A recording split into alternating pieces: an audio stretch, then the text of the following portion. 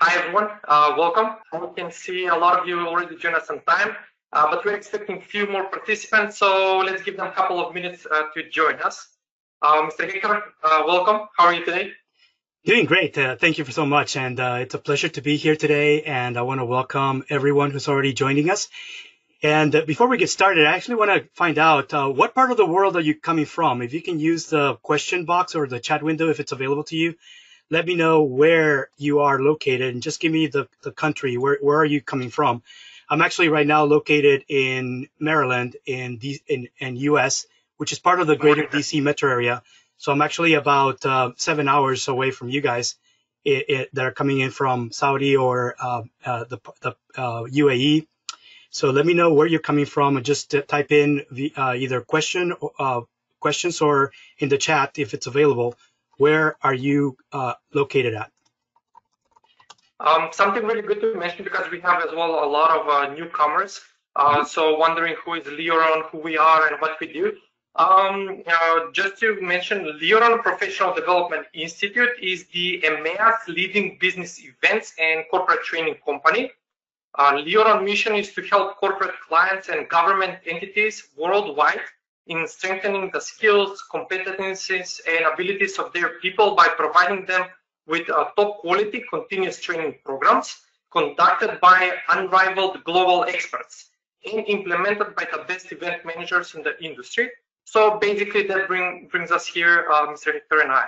Uh, I think we're uh, going good. Uh, should should we give them like a few more seconds, like 10 more seconds just to so everyone can say Sure, sure. We can maybe maybe in a in a minute or so we can get started, and um, uh, you you can actually just uh, formally launch the uh, the program.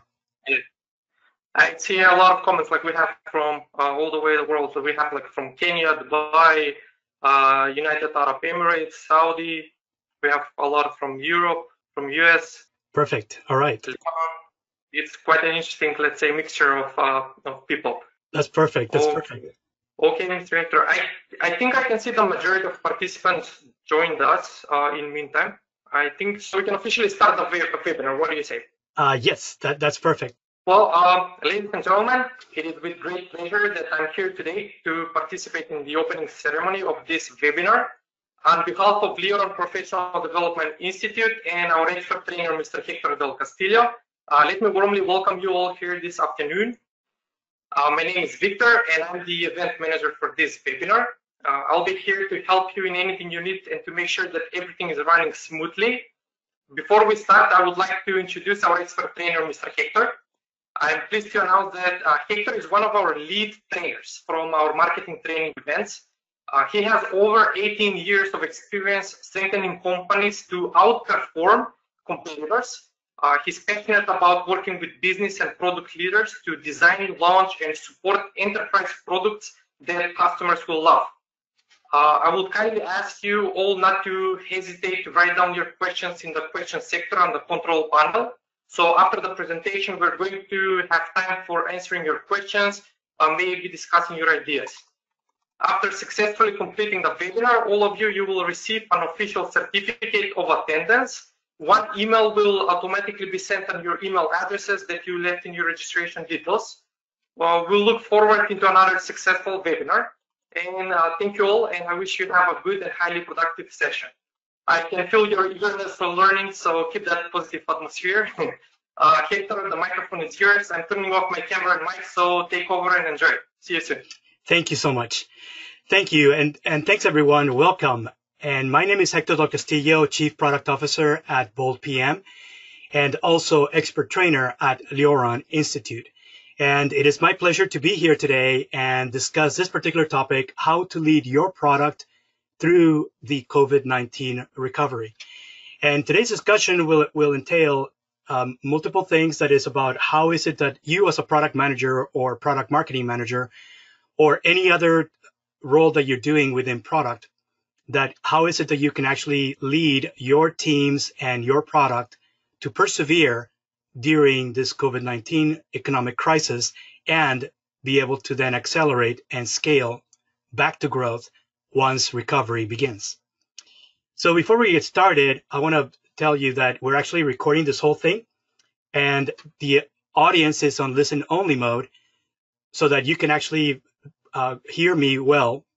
And also, if you have any questions, there will be a Q&A and type in your questions using the question box and there'll be a moderated Q&A at the end of my discussion today and we'll get into the, that information so that we can actually ensure that we answer all of your questions. If you encounter any audio issues, uh, be sure to refresh your browser. If you're hearing breakup, it may be your internet connection. Uh, we already did sound checks on our side, and um, we make sure that at least if you have any any audio issues, let the moderator know. And perhaps all you need to do is just refresh your browser or log back in, and hopefully that'll address your issues. Also, if you, we are recording today's session and you'll be seeing a, uh, actually a video and I'm going to be sharing on a post event page my entire presentation. And all you need to do is sign up and signing up, I'll, I'll tell you what link you can actually go. So you can actually sign up. You're going to get an automated re response via email about today's discussion. And then post event, you'll get a link where you can view the video and the slides of today's discussion. And we're going to basically go through uh, very quickly a lot of different things today. So be sure to stay engaged. Also, I want to give a special thanks to Leoron because they're actually hosting this webcast and they've been doing a great job of hosting the webcast with different expert trainers. And this is actually my first one with Leoron, but I, I do this on, a, on an ongoing basis. And actually, I, I can also invite you to other things that I'm doing where I'm actually used, uh, working with different uh, platforms to actually host some of these webinars that I'm doing. And I have a few of them coming in the next few weeks that are free to attend. So be happy to share that information with you. If you connect with me on LinkedIn or if you uh, sign up on for uh, on my landing page, I can provide provide you further updates about other topics that I'm doing in the next few weeks. Also, a special thanks to Podcast Village because they actually convert everything that I record and they take video and create great podcasts out of my content. And I will share all of this content with anyone that actually attends, registers for my events. And that way you can actually review the information in different ways, whether you want to view the, the video, uh, view the slides or listen to the podcast. You have avail- available all three of them from one session if you, if you sign up for the session. So shout out to Podcast Village because they do great podcasting services and they produce great listenable content for anything anything that I do. Also, if you're on Twitter, use this particular hashtags product management, hashtag product management, and hashtag COVID-19 recovery. This is what we're going to be talking about is how is it that you're going to persevere through the recovery and anything that you share, you're welcome to share any images or any wisdom that comes out of today's discussion and use the hashtag also product strategy.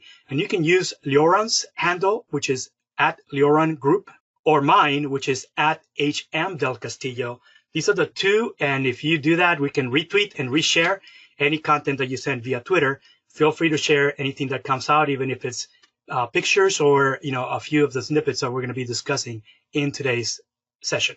So if you want to watch the replay, here is the link where you can actually sign up. And just so that you guys are aware, I am going to type in this short URL so that you can actually click through and sign up. And that's, I just sent that via chat. You should be able to see it. If you don't see it, make sure you take a screenshot of this because this is, this page is already live. There's a web form that you can submit. All you have to do is click through the sign up button, submit the information. And many of you already did this as, as part of re registration.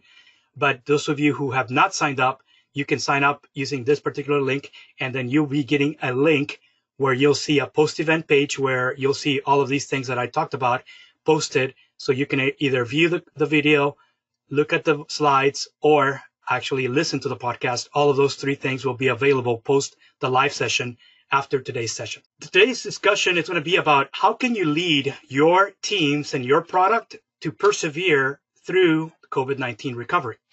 And we're going to be talking about multiple things in here.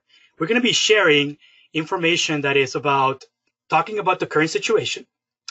We're going to talk about why most products fail and that's reality because there's a high failure rate. And this was, this has been around for years. We'll talk about why most products fail, why product management has risen in importance, and we're going to talk about how to build resilience to your product to ensure that your product and your teams persevere through current COVID-19 crisis and begins to scale and grow as recovery begins. We're also going to talk about the value of why you should consider getting certified for those of you who are not certified as product managers or product marketing managers. But we're also going to talk about why it matters to, for you that if you have one certification, you should actually pursue additional certifications. And all of these certifications are available through Leoron. And we're going to also talk about key takeaways as well. And finally, we're going to have Q&A. And this whole program is going to be fast tracked because I'm maybe going faster than you are comfortable. I have a lot of content to discuss, but hopefully you'll be able to review this and maybe uh, give you a chance to ask any questions. So if I'm going too fast, it's okay because just type in your question.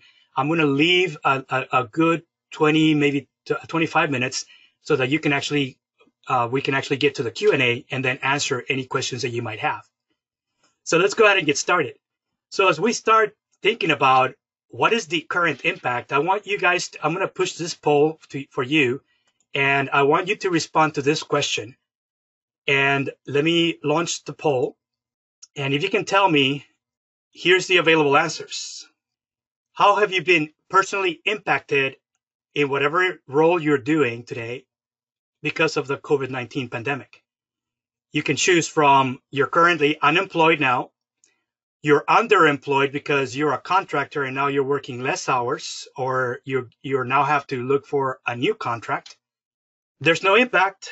You're doing the same old, same old as before now, or you're now 100% teleworking, where before you were mostly having to commute somewhere.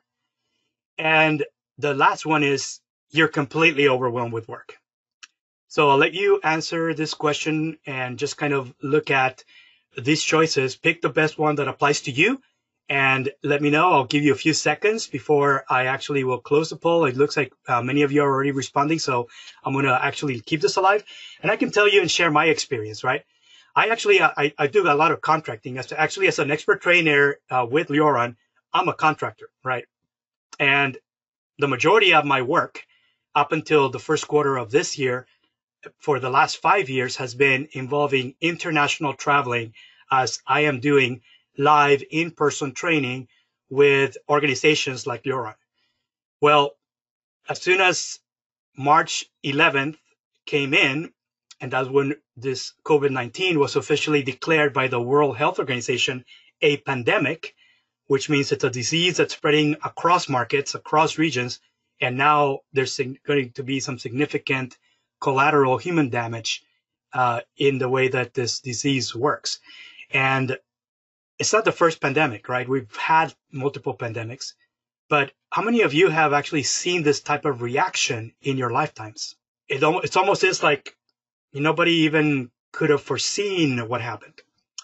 And we're going to share this because my impact is that I'm currently unemployed or underemployed because even though I'm not a blue collar worker, meaning I'm not doing manual work, I'm doing instructor in front of executives and managers. I've had to reinvent my business model, my entire business model, because moving forward, I'm planning that for the rest, at least for a period of 12 to 18 months, I will not be able to do any international traveling. And I now have to reinvent my entire business model in order to do this because I'm in the first category or the second category at best. So here's what I'm going to close the poll and I'm going to show the results. And on the share results, you can see that the majority of you are overwhelmed with work. Well, is that a good thing or is that a bad thing? It could go either way. It's a double edged sword, right? Actually, the majority of you are now teleworking. That's 55%. That's the number one group, teleworking. So the majority of you are now teleworking.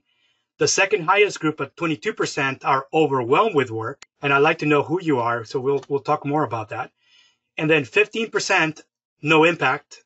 So it's a minority. And then a few of you a total of 5% for unemployed, 4% are underemployed. And I mentioned that me as an expert trainer that does international traveling in order to do live in person, I'm actually in that category of either unemployed or underemployed. And it's kind of expected for me because I'm a contractor, right? And usually that's what happens is you're a contractor, you're the first ones to suffer and whenever there's any downturn in the economic situation within your market. So I'm going to hide this and I'm actually going to be launching a second poll. And the second poll is about this. How has the current pandemic and the current crisis impacted demand for your product? And let me launch this poll and then we can talk about it in a few minutes. So the available choices are you've seen significant drop in demand for your product, meaning revenue, and now you have to figure out what to do next. Or you've seen some significant reduced demand because this is like double digit drop in revenue and it's almost like happens overnight. Or you're seeing the same demand for your product, or you're seeing double digit increase on your product, or you're seeing just overwhelming demand. And overwhelming means that there's so many orders that now you have a back or uh, you actually are back ordered because now there's a queue of customers wanting to get your product and you can't get get it out or install it or set it up fast enough as the customers are now coming to you asking for your product. Which one of these choose one of these five and pick the best one and I'm going to share with you my experience.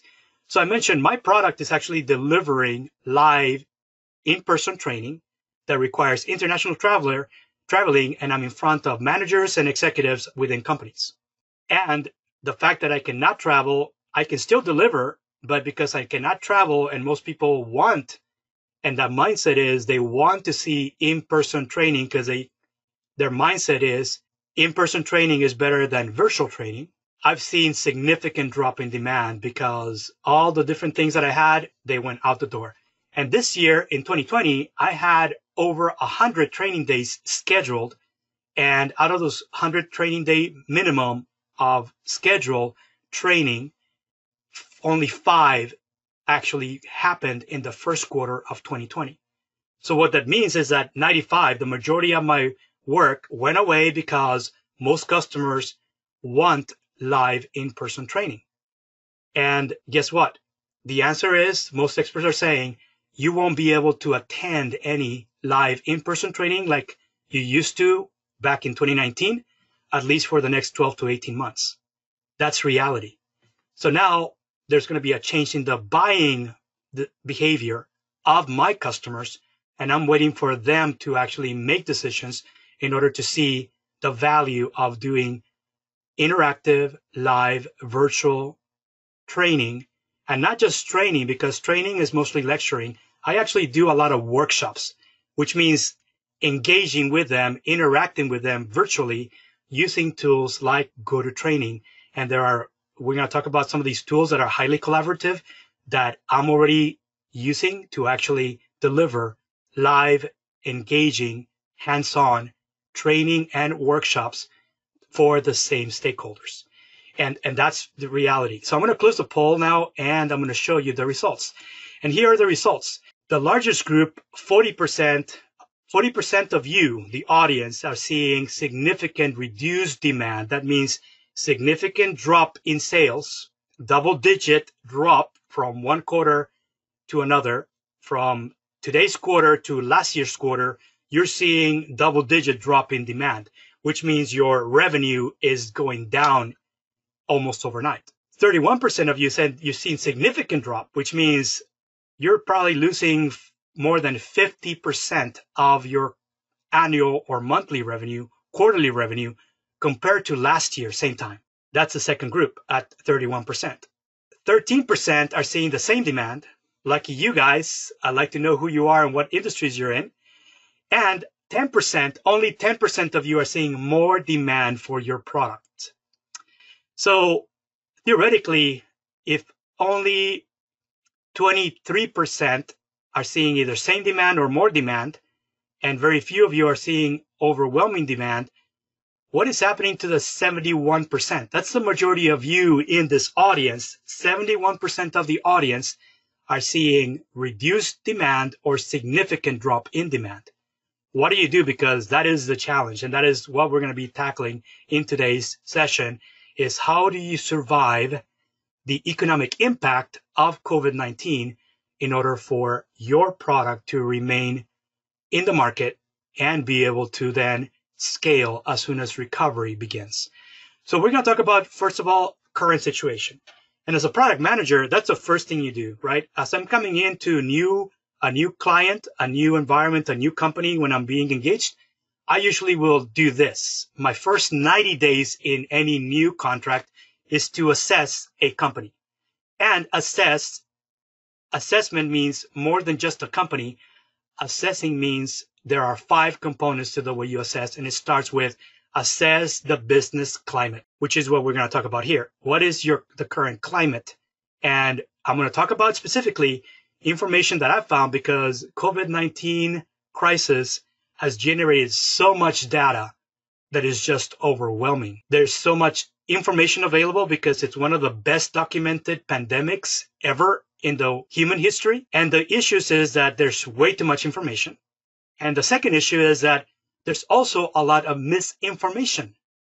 And that's a struggle because trying to really get the current situation is a lot of work because the, amount of data is overwhelming and you have to be able to discern good information, facts and figures from misinformation. And you want to eliminate any misinformation in your data sources. That is the struggle of anyone that is doing big data analytics, for example. So today's environment, I'm going to talk about what McKinsey is saying because they're saying, what is the impact? And the impact may depend on the depth of disruption within your industry or your market or markets, the length of disruption, how long it takes for you to actually start seeing recovery and then start looking at the shape of recovery. How quickly are you going to be able to ramp up once recovery begins? So those are three elements that we need to start looking at and start predicting so that you can actually figure out how to throttle back, take your foot off the accelerator, maybe put on the brakes as you're seeing curves in the business climate, maybe U-turns or maybe those horseshoe turns, and then be able to accelerate when needed. And you're stopping, you're slowing down, stopping, and accelerating. And that's going to be some time all the way until recovery begins. So typically, all of these things are the things that you want to start gauging. Here's the impact. And the impact is, and this is actually something that, that McKinsey published just recently. This is for US market. There may be available this information by someone like McKinsey or Bain or Boston Consulting Group. It's information that is hard to come by, but McKinsey has made this available for free for the US market. And it shows the impact to industrial sectors within US. And you see in the highest impact in areas like commercial aerospace, oil and gas, air travel, insurance, banks. And on the other side of the spectrum, the ones that have had least amount of impact, economic impact, meaning these are the ones, the ones on the left are the ones that have significant drop in demand, right? no different than what some of you are saying. And then the ones that are seeing some drop in demand, but maybe are also overwhelmed with new orders because a new segment and a new buyer behavior has been triggered by this crisis. And what I want to do is I want to actually be able to ask you if you can tell me which as of your industries, which of these industries is your current target industry? And what I want you to tell me is, in this case, I'm actually going to be closing this poll because I would really want to do is type, if you can type in on the questions box or your, your chat window, whichever is available, tell me which of these industrial sectors are your target sectors, meaning these are your customers, your targets your product is targeting or you're selling into any of these industries. So, how many of you are selling into commercial aerospace, oil and gas, or any energy company? How many of you are selling into insurance companies, not just life and business and other type of insurance, but also health plan providers, health insurers? How many of you are selling into banks? How many of you are selling into any investment firms that are all part of financial services? If that's if those are your targets because they're seeing significant drop in demand, I would say you're suffering because they're ordering less than they were a year ago. And right now, even if you have a long-term contract, they're trying that uh, that says that they need to buy at a certain volume. They're trying to renegotiate that because they don't need to buy that much, and it's going to take be a long time before they're at the same level of demand that they were even like at the beginning of this year. If you're targeting logistics, consumer, certain retail sectors, the ones that have been less impacted, you may have be you may be in that boat where you're not seeing very much demand or you're seeing overwhelming demand, an increase in demand. What I wanted to find out is tell me, share that information, and then I can tell you what the impact is because this allows you to start seeing. And even though this is US, in your market, you need to understand what this is because who you're targeting may be deeply impacted, which means now they're going to buy be, being be buying less from you if you're their supplier, if you're in their supply chain. And in very few cases, because we saw the poll, very few of you are seeing it's not the majority, it's like 30% in, in this audience that is seeing either same demand or some increase in demand or overwhelming increase in demand. Some of these may be healthcare, right? If you're a hospital or a clinic right now, and you're the one that's in the front line of tending to anyone who has become infected with COVID-19 and now is showing symptoms, they're the ones that are overwhelmed with work. And therefore, anyone else that's part of the supply chain is also seeing a lot, a lot of work, right? And that means that in that scenario, it's also the actual people that are uh, that are actually involved that are actually also overwhelmed. All this, the entire supply chain is is actually seeing significant demand.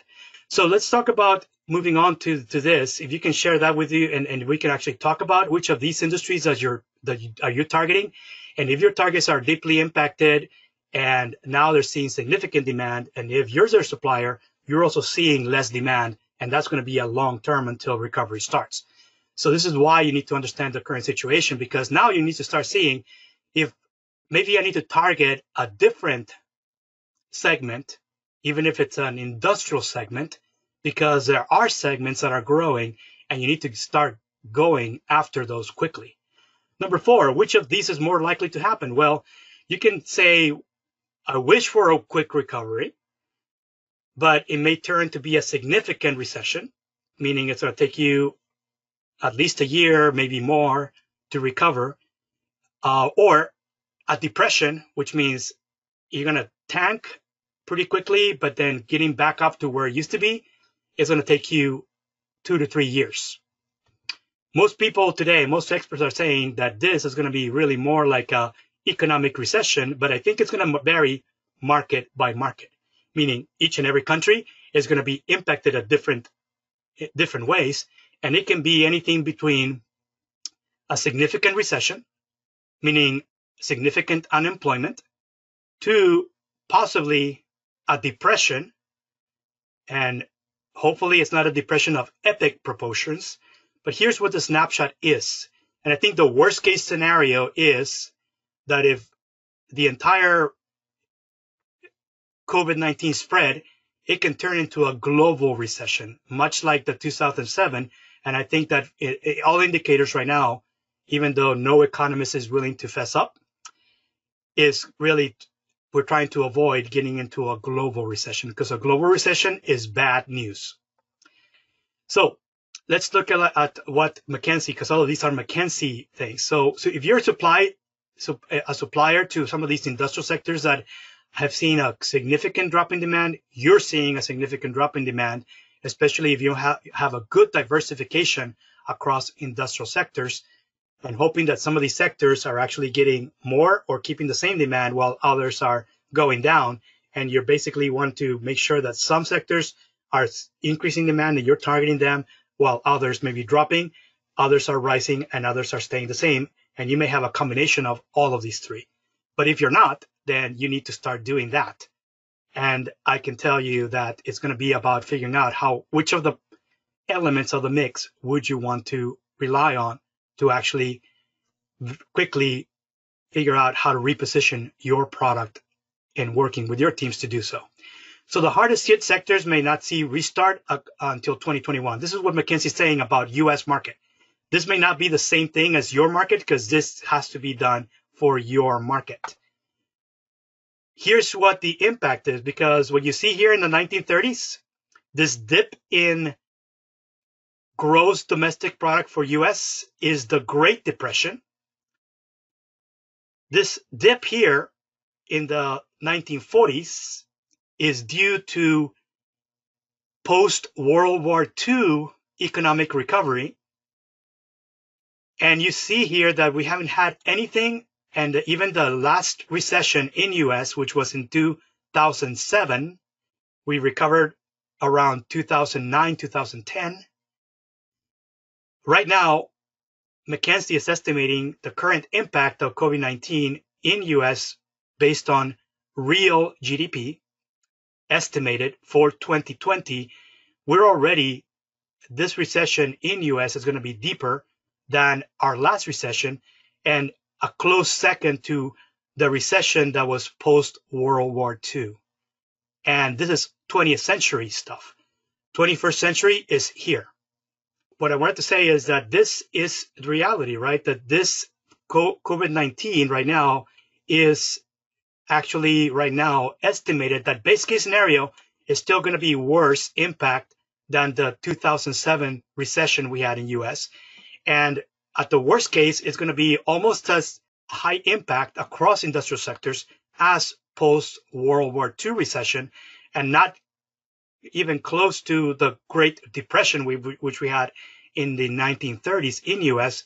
But this is significant because there's no CEO, there's no living CEO today that has been able to figure out how to turn around their company, their product with this type of recession. And that's reality in US today. And I think that we're going to have to figure out what is that you can do if in your country, in your market, with your customers, if this is going to be a challenge for your executives, how can you step up as a product manager for them to understand this current situation and figure out how to actually get your product team to persevere until recovery starts. And it is possible to do, but you have to do product management the right way.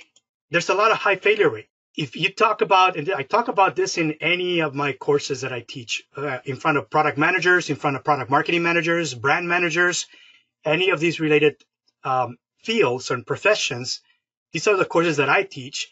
And reality is, is that whether your products are brands or whether your products are multiple things that are branded by one company, there's a high failure rate of either brands when they're consumer products or products that get launched into market and never become profitable. And the failure rate is no matter what experts you're relying to or what market or industries you're looking at, the failure rate is somewhere between 60 to 90%. These are products that work and they work as designed. They just don't meet customer expectations because nobody bothered to actually look at and ask and even test whether customers want it, whether it's priced right, or whether it's the right solution to their problems. And that's the majority of the sources of why products fail. I'm going to launch this poll and hopefully I won't lose. If I lose a screen, let me know right away, okay, please? But I'm going to launch this poll. Why? I want to know if you tell me the reasons why most products would fail. Why is it that 69%? And I'm going to launch this poll now. And here are these, right? Pick the best one that you think is, is, is uh, the one that you think most products need to be pulled out after being launched. They're pulled out within two or three years after introduction because they have no chance of becoming profitable eh, or even getting to the revenue growth that you need to achieve ROI on whatever you invested to ideate and design and build and test and launch that product to the market. No chance of recovering. And now you just have to withdraw from the market. So pick the best answer out of is it because your value proposition is unclear to your target customers? Is it because your products don't really know who you are or what you do as a brand, as, as a company, or even for your product? Or is it because you don't understand buyer behavior? Or is it because your offering lacks consistency? Or is it because your entire company struggles to deliver a consistent customer experience? Which one of these do you believe is the greatest source of why products within your company are failing today? And I'm going to give you a few seconds to respond. I see many of you are still responding and we're going to be talking and sharing the results real quick. And then we're going to talk about the real scenarios to why most products fail. Okay. I'm going to go ahead and close the poll and then share my answer. And here's what you see. The majority of you so number one, number two, number three are pretty close to each other. That's the first thing. If there's a margin of error, everything, all of these responses are within the margin of error, right? Largest group at 31% uh, believe that it's because you have an inconsistent customer experience. And 29% is the second group, second highest group, and says your value proposition is unclear. 27% is a third group. You don't understand buyer behavior. And then 8% prospects don't know who you are as a brand, as a company, or for the, your, your product. 6% your offering lacks consistency.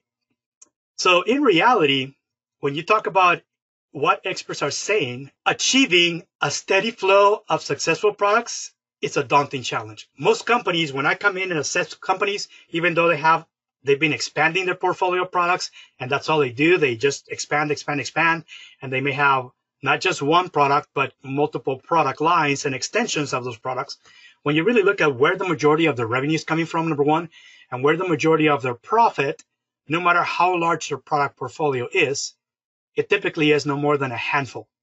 Literally, you can have thousands of SKUs available, maybe even tens of thousands of SKUs available, and only one or a handful of products where the majority of revenue is coming from and where the majority of your portfolio's profitability is coming from. So why why do they do all this work to put out all these losers and they maintain them in market? That's to me a sign of a deficient product management function within the organization. Most of these companies, they're in the majority, right? The majority of companies today, even when they have product management, in place experience any of these or any combination of these five things because very representative to this a combination of these and not just one but multiple of these that are causing multiple failure after failure after failure even as they have product managers doing the actual involving the product development process. And it's because often they need to do they need to work smarter, not harder as an organization. We're going to talk about what that means. So most vendors don't focus on understanding buyer behavior. That's my personal experience. And typically they don't even know how do we as if you're if I'm your target customer, how do I go about evaluating products? How do I select the right product for me? And what is what is my purchase decision? And it starts with that because understanding buyer behavior today is the number one thing that you need to understand first before you start even working on a proposed product. Let me repeat this because this is exactly right. If you don't understand buyer behavior and gather the facts and figures, not just your team's perception of what people want, but you go out and start interviewing. That means you go outside your building and interview targets prospects, not yet your customers, but you understand and empathize with them, this is where you need to start. And by lack of doing this, I can tell you, you're going to make a lot of errors and omissions in whatever you ideate, in whatever you choose to be the market problem to solve, or even the best proposed solution to solve that market problem that your team has identified. and everything goes downhill from there. Doesn't matter how good you are and how much knowledge you have of what you know, uh, technologies that you understand and how expert you are, you're starting with either working on the wrong problem to solve or the wrong proposed solution that has a high market fit. And you're going in the, in the wrong direction to begin with. So often, and this is what BCG is saying, because there is a TED Talk, and I think this TED Talk has been around already available on YouTube.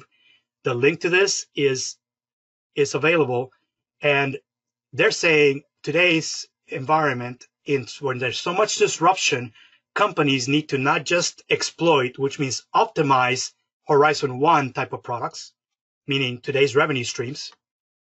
You also need to start exploring and there's no choice. If you don't explore and exploit or optimize at the same time, you are here today and maybe gone tomorrow. And this is exactly what's happening in many companies.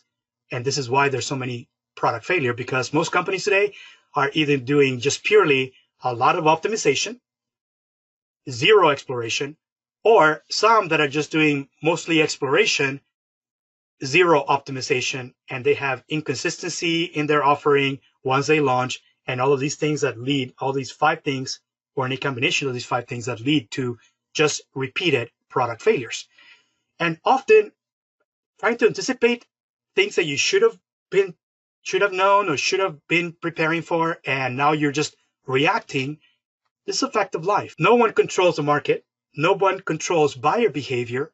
You need to understand it and you need to measure it in order to you to uh, figure out what is the right value proposition. And for the lack of doing this, you're making too many assumptions about the complexity of your offering, the volatility of the buy decisions, the ambiguity of the market, and things that may influence demand on the market, and uncertainty.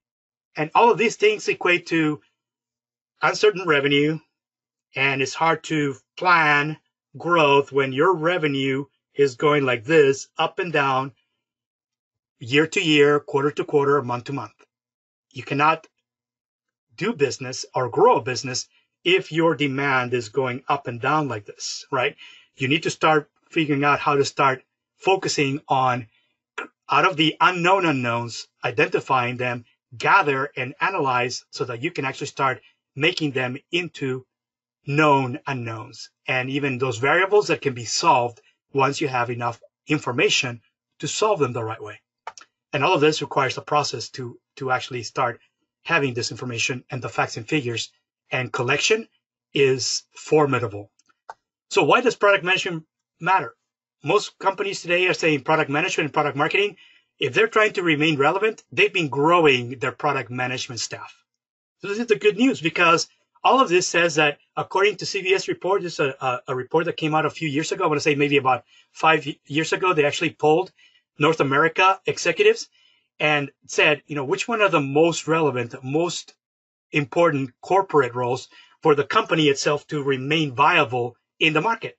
And what came out is that product management is number four, ranked lower only CEOs within companies, other executives within companies, and general managers within companies product management is up there because you're working with not just the C suite, the executives and senior managers, you're working with everyone who's a core business function for your company. And that means that your role is not only highly ranked, but you need to focus in identifying other subject matter experts and be effective at leading cross functional teams across all of the core business functions within your company. And having said that, a product manager should be mostly orchestrating, not actually doing the actual development or the actual testing or the actual shipping of your product when it's ready to launch. Those are all things that uh, take action. Product managers are mostly leading cross-functional teams. And the complexity of the role is is usually pretty high. It's one of the highest, most complex roles because most companies today, regardless of who you are, the type of business, you might have maybe eight, maybe up to 12 core business functions. These are critical business functions like sales, like marketing, like customer support or customer service, like installation, uh, delivery, fulfillment, supply chain management, all these things that are part, uh, these are all core business functions. And no matter what type of business you are, somewhere between eight to 12. And that becomes complex because a product manager needs to interface with all of these core business functions within any company. Because if you only assign your product managers to two out of the, you know, three or a handful out of the eight to 12, they're going to miss things. And there's no handoffs because somebody else who's not the, who's not in the role of product management is a specialist in their own field and they're not necessarily coordinating with other aspects within the business. Product management is about to ensure that everything that is core business function is clearly communicated internally. Communicating internal communication is the one of the highest things that product management does, and that means they need to be involved. Even if, even if they're not leading, they need to know, they need to be informed, and if the information is not coming to them, that can be a problem. So, what is the most important responsibility for the product manager? In your point of view, those of you who have been in product management for some time, I'm going to launch this poll and I'm going to wait for your responses. And in this case, you want to pick one of these based on your what you're doing today. Which one is the most important to you? Is it about leading product development efforts? Is it about doing win loss analysis when you don't get the sale? Is it managing product performance? Is it talking to customers? Or is it about delivering an exceptional customer experience? I know many of you may be confused because they all seem to see pick the one. Prioritize and pick one that is most important within your company today. And then we'll talk about that. And I'm going to give you a few seconds to actually re- reply back. Uh, but I want to say that typically this is the challenge of product management, right? Most people think that a product manager can do it all. And may be true, but having to interface with 8 to 12 core business functions within any company is significant work. And then trying to figure out where to spend your time across any of these five areas, or there may be more than five areas. What we teach in the certification courses is that there are multiple areas and at least seven different critical things that product management needs to do and they each one of those requires that they actually interface with a different set of teams within the company. And sometimes you got to talk to supply chains, anyone in the, any of your suppliers. Sometimes you need to look for new suppliers, but also you need to look on the demand side and either talk to customers or also turn on new distribution channels. And often you're doing things not just within the company, but also on the supply side as well as the demand side. And you want to make sure that there you have the proper business model and the right fit for within the entire business ecosystem where you operate as a business and where your product wants to become a winner. I'm going to close the poll and I'm going to share the results. So most of you are saying that 33% of you, 33%, that's the biggest group, saying delivering an exceptional customer experience is the must, must, right? The number one thing. 22% of you are saying manage product performance. 24%, and actually those two groups are close because they're within 2% of each other. So I think they're pretty much a tie statistically and including the margin of error. 24% are saying leading product development initiatives. And a few of you are saying 14% saying talk to customers, and then 6% of you saying do win loss analysis. And in reality, all of these things are things that should be done by product management, right? Here's what my perspective is. I'm going to hide and I want to make sure that, yes, I think I have still.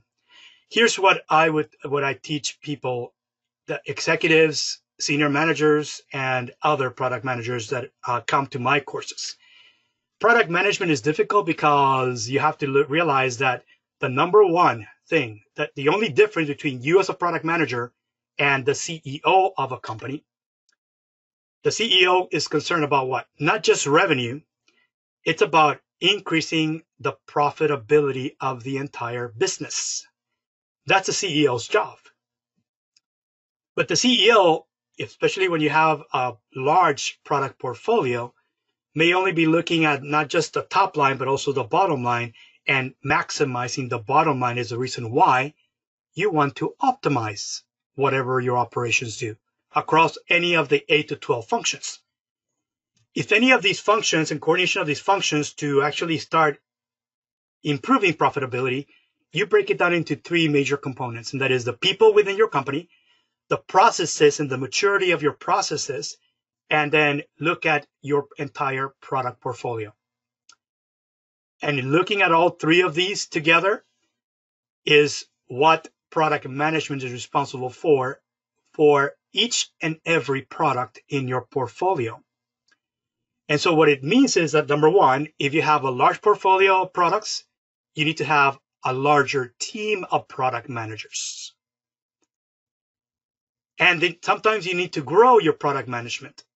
And we're going to talk about this because when I come in, the first 90 days on anything that I do, I assess across all three, all four of these because I find a direct relationship between any issues, any gaps in the way people are assigned to roles within the company and the way they interface with product management, the processes and the maturity of processes, and make sure those processes are consistently applied to all products in the portfolio. And that is clear to everybody in the building which product are most profitable, which products are sold for cash flow, and usually you need to have both because cash cow products increase your cash flow, means revenue, little margin. Star products are the most profitable, and selling more of your star products increases your companies and your portfolio's profitability. Having said that, product management is never a one person job. It is a team, and it is a team even when you are a startup, especially a startup that wants to very quickly scale as soon as you have minimum viable product. We'll talk about that. Move on to the next one and say challenges. What are the challenges? And the challenges are many because the challenges can be there may be challenges because every organization, in my experience, has strengths and weaknesses across all four of these. The strengths and weaknesses in the people and the way that they allocate their people to different functions within the business, core business functions, including product management, processes, and how well their processes are implemented and improved and shed off when they no longer add value. And it's an ongoing process. And the products that they need to defend in the market, which may, may be your cash cow and your star Everything else needs to be removed so that you can reallocate on the next cash cow or the next star product that you're going to introduce at some point in the market. And that aligning how you allocate your people, how you grow and, and continue to build and improve and optimize your processes, apply that to your entire portfolio over time leads to higher profitability. And the way you, if you pick the answer of managing product performance, product performance includes measuring and managing your product's profitability. And that means that those numbers are coming to you from whoever's tracking revenue, cost structure, profit. And that may be an issue if you're not being told that information or you're being told by executives that you don't need to know because your number one task is to manage product performance. And to me, that means you manage not just cash flow, you manage to see that profit is growing over time, especially once your product is in maturity, which is most of the cash cow and star products. So let's talk about the, the next one. The challenges of, of, and this is actually challenges that are coming in from uh, a study that was done by the by the product by the by the 280 group, and this actually was I, I think done back in I want to say about three years ago. And I want to launch this poll because I want to tell I want I want you to check all that apply when it comes to people. Which of these it, in happens within your company. Pick any any of uh, you can actually do multiple selection. Tell me which one of these is the are you experiencing with your company today? Are you experiencing that most product managers, you and everybody else in product management are too tactical, meaning you're doing day to day and nobody is looking at to what's going to happen next year or two, two years from now, three years from now? Is it that most product managers are unable to influence development or your executive team or other managers effectively? Or your executives believe the skill level within the product management team is average at best or is it that most product managers are not effective leaders and that's how they're perceived? You as a product manager are not perceived as an effective leader within your company. Or is it because your executives and, and customers believe you are the best product management team there is in the market, in your industry? Which one of these is reality for you? What your perception about product management within your company? The survey that was done by the 280 group actually did this and they divided this into what they found when respondents were executives, vice presidents, directors, senior product managers across industries, and they polled the respondents. These were all product management uh, people with the title of product management across industries. And these are some of the things that came out of that survey that was published about three or four years ago. And to me, it kind of rang the bell as to Houston, we have a problem because this is why most products are failing today when it comes to the assignment of people within product management, regardless of the company, regardless of the industry. And that is the majority of companies today. This is why the product failure is at 60 to 90%, no matter who you, what industry you're looking for and what type of product you're looking at. So we will, I'm actually going to close the poll and I'm going to share to see which ones, because here you can actually uh, choose multiple ones, it's obvious that there may be multiple root causes, multiple things that cause the main problem of people in product management, and I'm going to share the results. So here it is. The largest group, and actually the number one and number two are close uh, within 3% of each other. 29% say most, pro- most product managers are unable to influence within your company either development or technology or management type of things. 26% of you, the second group, most product managers in my company are too tactical. And 17%, and I want to mention number three is statistically tied, right? Because it's within the margin of error of 2 to 3%. But the rest of them are 17%. Most product managers are not effective, and that is the view of the executives. Executives believe the skills uh, is, is average at best, and 14% tied also. Executives and customers believe we are the best. So it's kind of interesting to see that many of you are so optimistic about your teams because you chose number five. Because statistically, we know reality from the survey. It's really the, the min, min, minority of companies that actually have these beliefs where your own executives and your customers believe you are the best in your industry in at what you do. But 14% is what we show here. So let's figure out whether this is uh, how, how, statistically close this is to the actual results of the survey, which is one of the most comprehensive surveys that I've found to date. And I mentioned earlier, this was done by the 280 group. So let's take a look. Number one, in people, here's what the what results showed 57% of, of product managers today are too tactical when the role should be mostly strategic because you're not looking at what you're doing today for the next year. You're only lo- you're also looking at year two, year three, year five, and beyond. And when the majority of your product managers are too tactical, who's looking at what's next? Because you may need to have a team, not one peer, not one or two people looking at what's next, meaning Horizon 2, Horizon 3. Here's the other one. 43% of product managers are unable to influence. That is what came out of this results. It was done in 2015, by the way. If you want to see the results of this, if they're published, I can make it available. Connect with me or sign up on the on on the, on that link I showed you, and I will share the results of this particular survey because this was published in 2015 by the 280 group. 38% of product managers are not viewed as effective leaders within their companies. We have a problem when your most your role, even though your title is product manager, you're mostly leading multiple cross-functional teams. And that means that any deliverable you work on has to be done by a team, not just you as an individual member.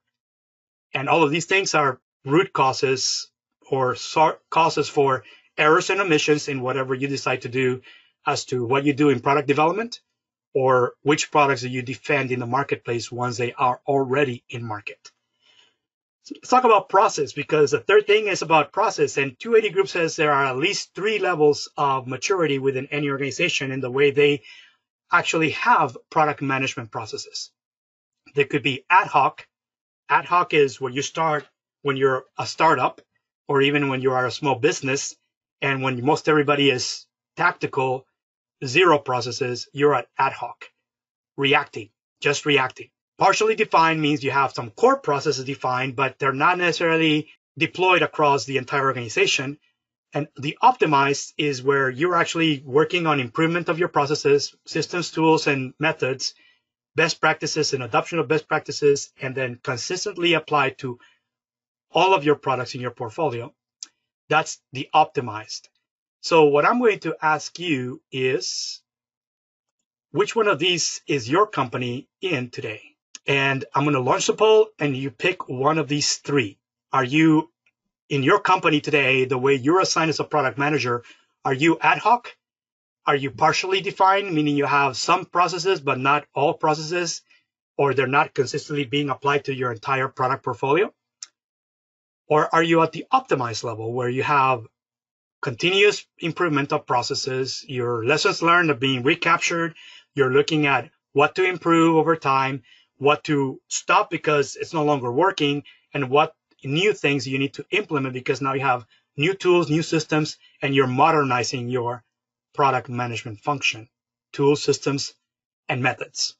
So let's talk about this and I'll let you respond. Pick one of these three, and this is your perspective, your perception as to where your company is in the maturity of product management and product marketing process. Then we'll compare to the results of the polls as well. I'm going to close the poll now, and I'm actually going to share the results. So here's the response. The majority of you at, at the partially defined, that's 55%. It's pretty overwhelming because even with the margin of error, most of you, regardless of your industry or product, you're at the partially defined level. And 17% of you are at the ad hoc level, and 28% of you are at the optimized level.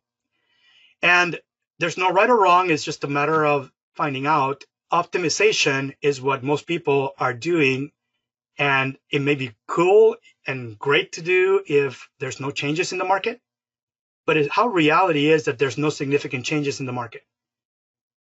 How are you doing today if you're at the optimized level and you never for you never anticipated the impact of a pandemic like covid-19 this is where the issue is right? Processes are never static they're always dynamic, and as conditions change in the market in your industry, often you have to reinvent your processes. And that's what happens when something like COVID-19 crisis comes in. It doesn't happen every year, but whenever it happens, you need to start repurposing your the way you're optimizing because you didn't figure out how to take all those things that you were exploring in or maybe you weren't doing enough exploration. And even though you've been at the optimized level and doing great, now you're experiencing significant reduction in demand. And now you need to figure out a scramble very quickly as to what to do next. So we're going to talk about some of the things that came out on this on this report, and I want to just continue with the, with this for the sake of time. So 42% of executives believe that processes, it, having process is a challenge because most of them are ad hoc or partially defined, and those are not what you need to become a market leader. And even getting to the optimized level, it only means that you're a market leader temporarily if you're not doing enough exploration. So all of this means a process needs to be, you need to work on getting to the optimized level. And even then when you're at the optimized level, you still need to ensure that somebody is looking at horizon two, horizon three to make sure that you're doing exploration in addition to optimization exploitation. So let's talk about the next thing, and that is profit. How does this impact your profit? People, process, any flaws, any gaps in people and process leads to no profitability, less profitability, and you need to benchmark this, right? So let's talk about this. And I'm going to actually launch a poll and tell me what do you think your the perspective is from your shareholders and if you're privately owned from your owners regarding not just your top line, your revenue. Is anyone measuring profitability? Are you tracking, if you're tracking managing product performance, are you getting those numbers when it comes to your product's profitability over time? Let's pick any of these that apply to you, and you can pick from executives really understand my product, the product management function and how it works, and what is the number one thing that is managing product performance, which includes profitability. Over 80% of our products meet or exceed customer needs. My product is at least 3%, three times more profitable than my comp- competition, my industry, than the industry average, my competitors, my direct competitors. Do you know whether your product is three to five times or more profitable than direct competing products in the same market? Do we have fully optimized my company's product management function? For the sake of time, I'm going to give you the impact of the outcome of this 2015 study that the 280 group did. And the respondents were all product executives and vice presidents and directors of product and senior product managers within multiple companies multiple industries, different types of products. Number one, most organizations have deficiencies across people, process, and systems and tools. And all of those not being applied to your entire portfolio means to lower profitability than anybody else who's actually doing this. And market leaders like Apple, like Google, like Microsoft are the ones that continue to work across all three of these to lead to higher profitability than direct competitors.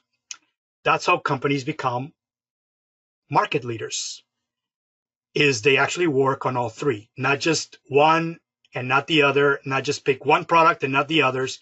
They assign their people and grow their people and allocate their people and then improve their processes as conditions in the market change and then apply that to their entire portfolio talk about now, if you are under this scenario, you know that you have some problems. I'm going to actually now uh, stop sharing the results.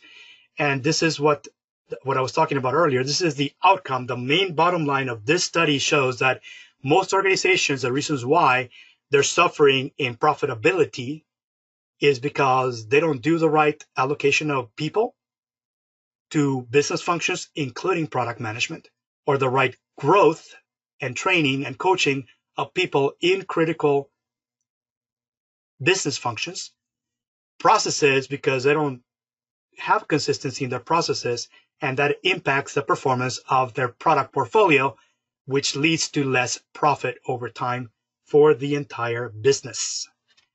So that's the outcome.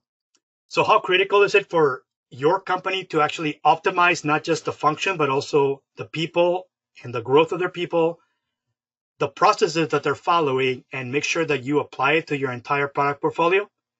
All of this is what the product management function should be doing if you're really optimized.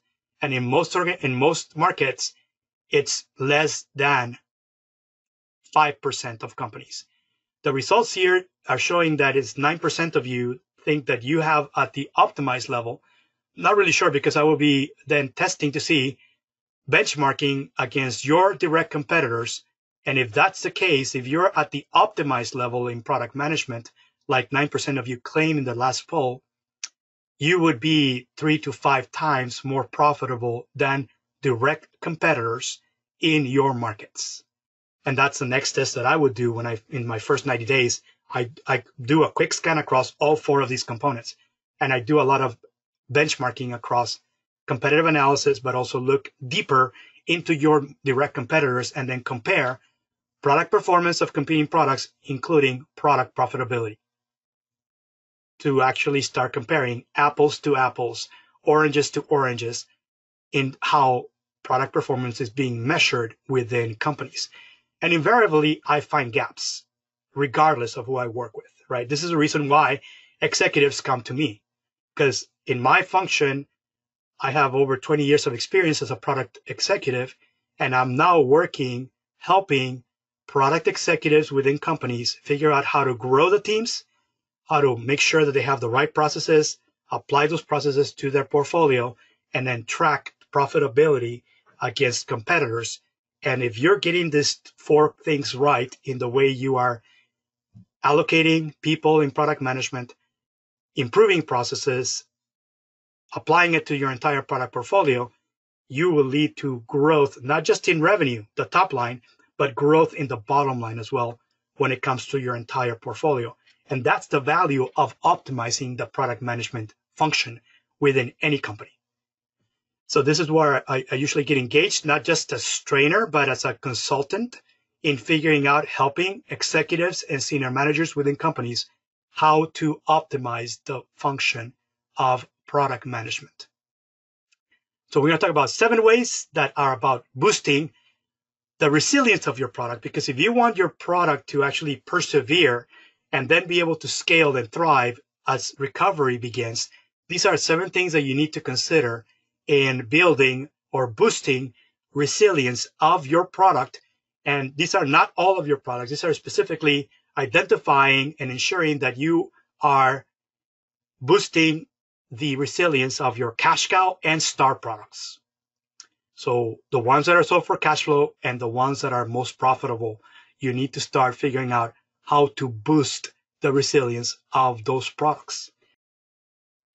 So now that we know the results and we know that only 9% of you believe that you have optimized, right? We talked about that these are seven ways that you can actually boost the resilience of your product because you want to actually recognize, identify your cash cow and star products and being able to defend those in the marketplace and boost the resilience of those products so that you can persevere even if there's a momentary hopefully it's a momentary momentary is relative because maybe a few months that your demand has gone down and now you need to scale at some point.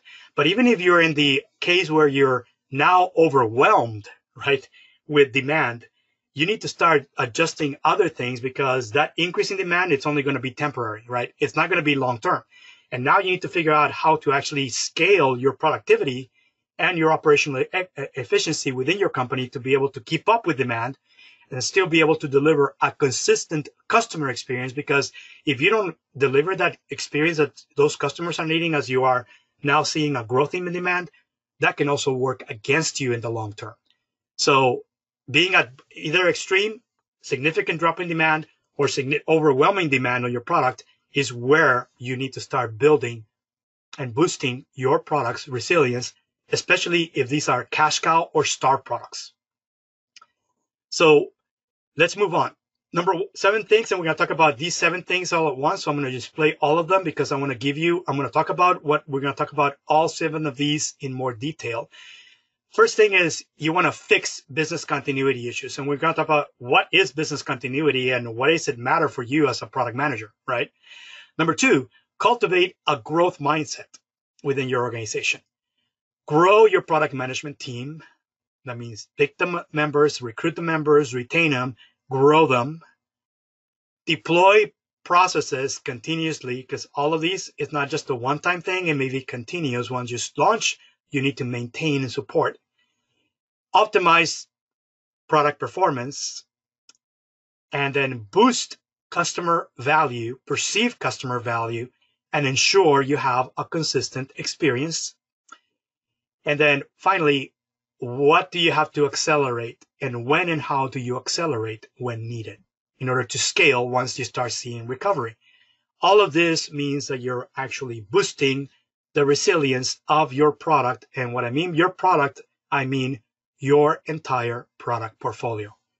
This can't work on a, just one product. You need to start looking at your entire product portfolio, which means these seven steps, it's not just one product manager, it's the entire team involved in any of these steps. So let's talk about the number one. The path to resilience of your product requires fuel. And fuel within any company is your cash flow. No cash, no growth. Inconsistent cash flow, no growth. You need to have consistent, continuous, at least stable cash flow, even as there's significant drop. Now you need to sustain that and then figure out how to grow that steadily to get back to where you were before. Cash flow is the fuel to your company's growth engine. And right now, if you are suddenly experiencing that significant drop in demand or double digit drop in demand, that means less cash flow.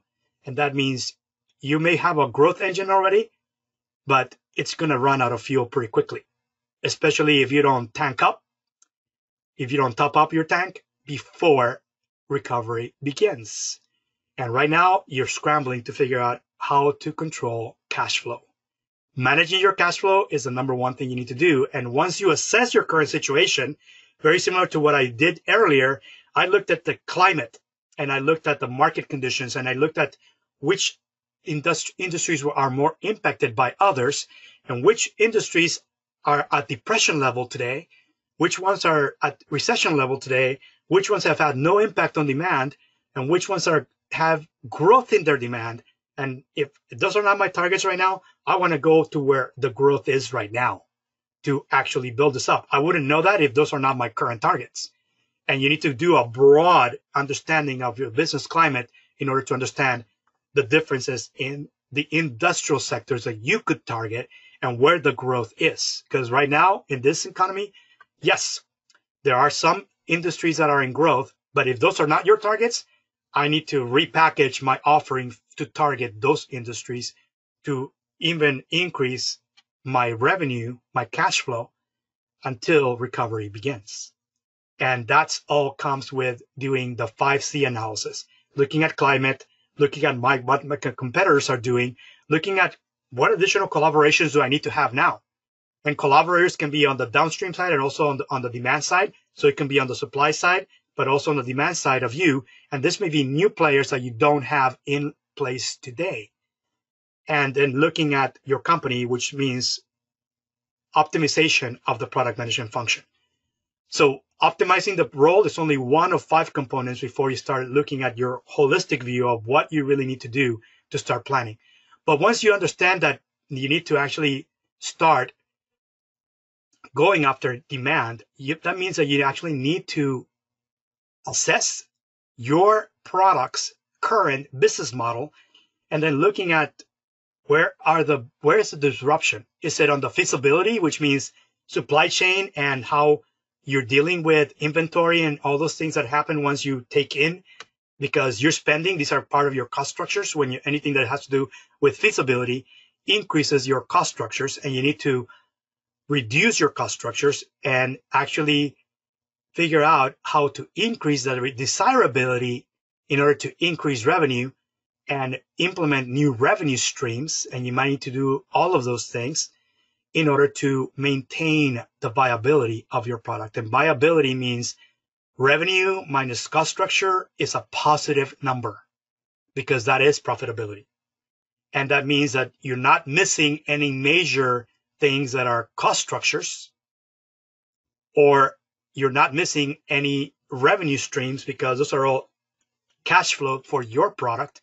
And you need to figure out in a team environment what is reality, the reality of your current business model that you have implemented in, in place. And then design and deploy changes because you might have disruption across all three of these. You may have to do something about increasing the desirability, increasing the feasibility, and therefore you're increasing the viability. You have to do all three in the way you would design and deploy changes to your current to your product's current business model. And Here's an example. Enterprise Holdings. So enterprise, and I talk about this particular example when I compared enterprise to other competitors in market. This are this is a car rental company that is in US, now has become number one in all of North America because they have been growing for the last decade and a half faster than Avis and Hertz and other competitors. And they're number one today in North America. Enterprise Holdings today has reinvented itself immediately when the pandemic was announced and many college students were actually said, no more school, go back home because now you're going to be finishing up the rest of your academic term online virtual courses. Overnight, they were told this around spring break here in US. That was our reaction to lockdown. Many colleges shut down their campuses and sent their students home. And at, this was a time when airlines were also shutting down operations.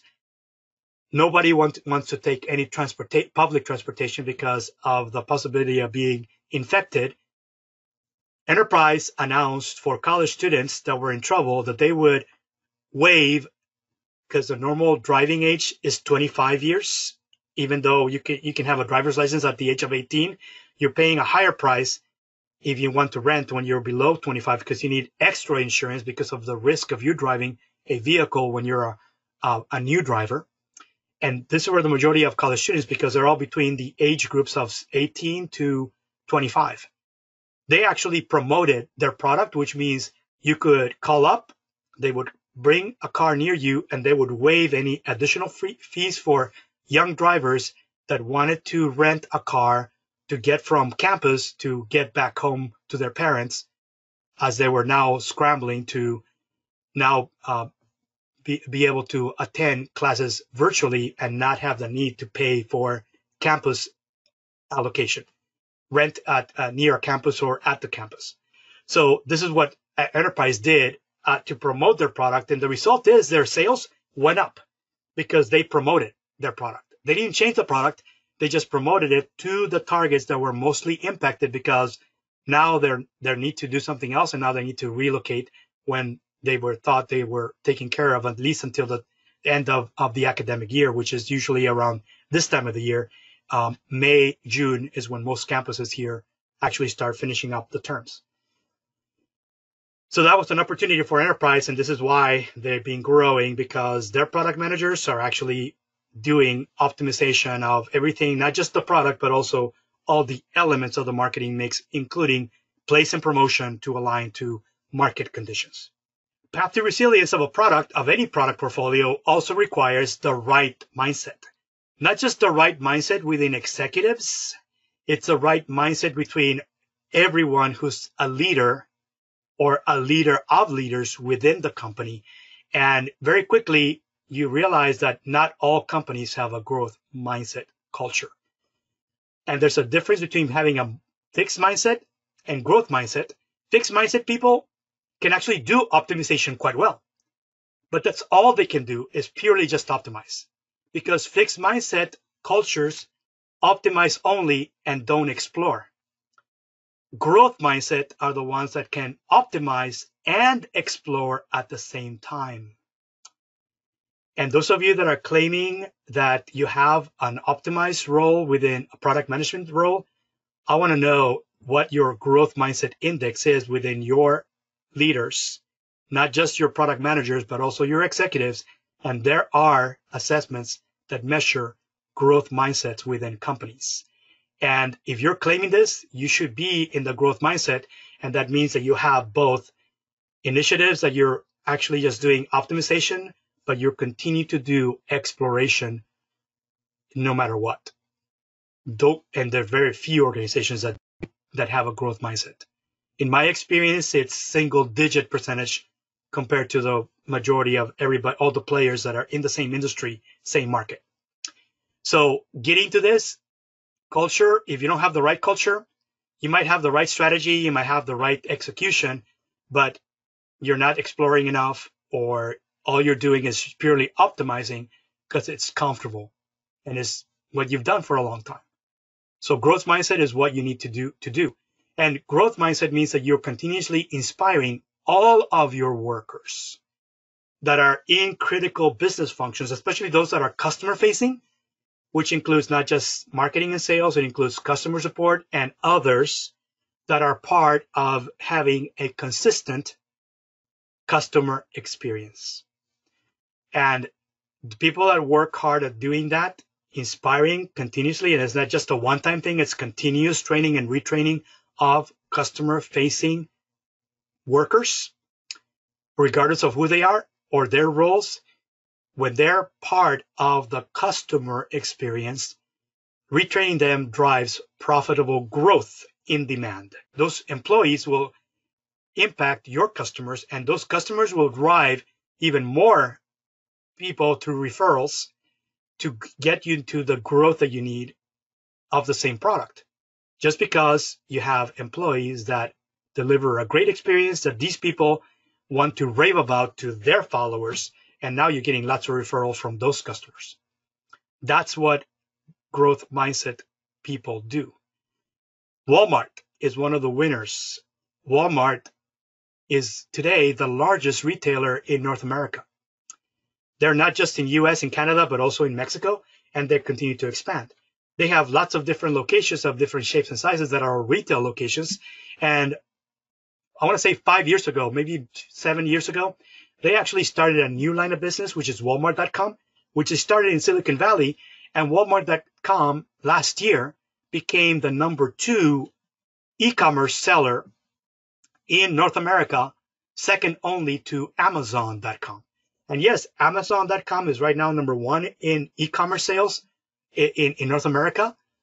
And they've been for, for the last 10, 15 years. This is why now Jeff Bezos is now a trillionaire as of, as of this week, because everybody's doing e-commerce. Those of us that are working from home, we're not necessarily shopping by going to the store. We're ordering online and it's not just from Amazon. Uh, number two is all the e-commerce portals that Walmart.com has now deployed in North America. And they have one unique value proposition that Amazon.com cannot match. And that is you, you can have a di- different way of buying, which is you buy online, pay for it, and then you can pick up at the store near you. And now you're getting status on the mobile app about, you know, when to come by and just curbside pickup of whatever you bought online.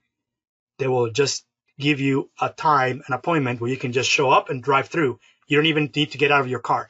They will bring whatever you already bought to your car completely touchless when it comes to just take you, all you need to do is just make sure that you're putting the package uh, in your car and then take off and take it home. Amazon.com today has not that ability because they don't have many retail locations today. They have a few that they're starting to test, not enough not the type of retail locations that have thousands across North America today. And they're actually getting a lot of growth in demand as retailers of groceries and clothing. And I mean, they're the largest retail. So anything you buy from them, you, you can buy online and pick up the way you want to pick up. They can also deliver, by the way. The path to resilience requires growth. And Growth means that you need to grow your teams, you grow your people, including your product management team.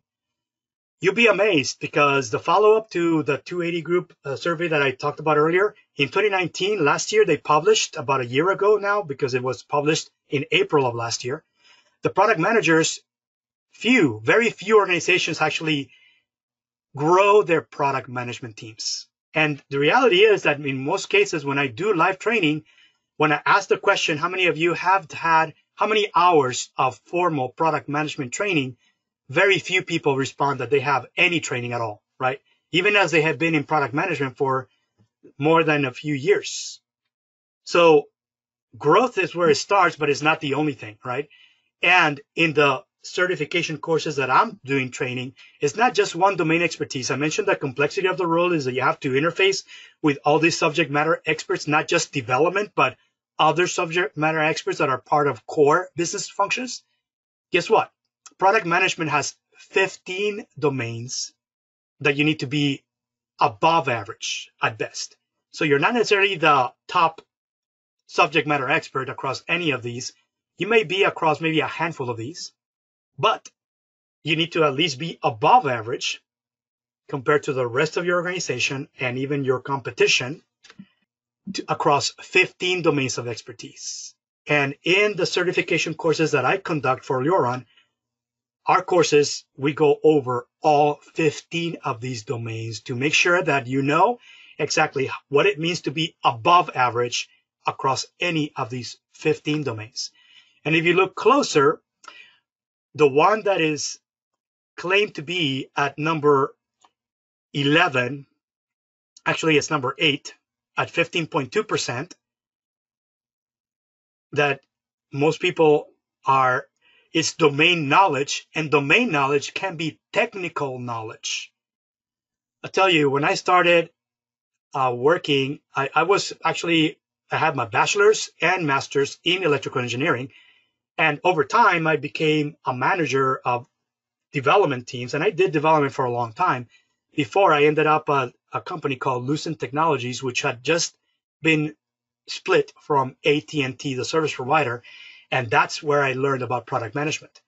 In that five year span, actually within three years of me being there, I actually expressed my interest to shift into product management, going from development to product management because I really liked what product management was all about. It was not just about doing, it was about thinking, and it was about deciding and making decisions as to what is the future going to look like, and then enable development teams to build the right things to make that future happen.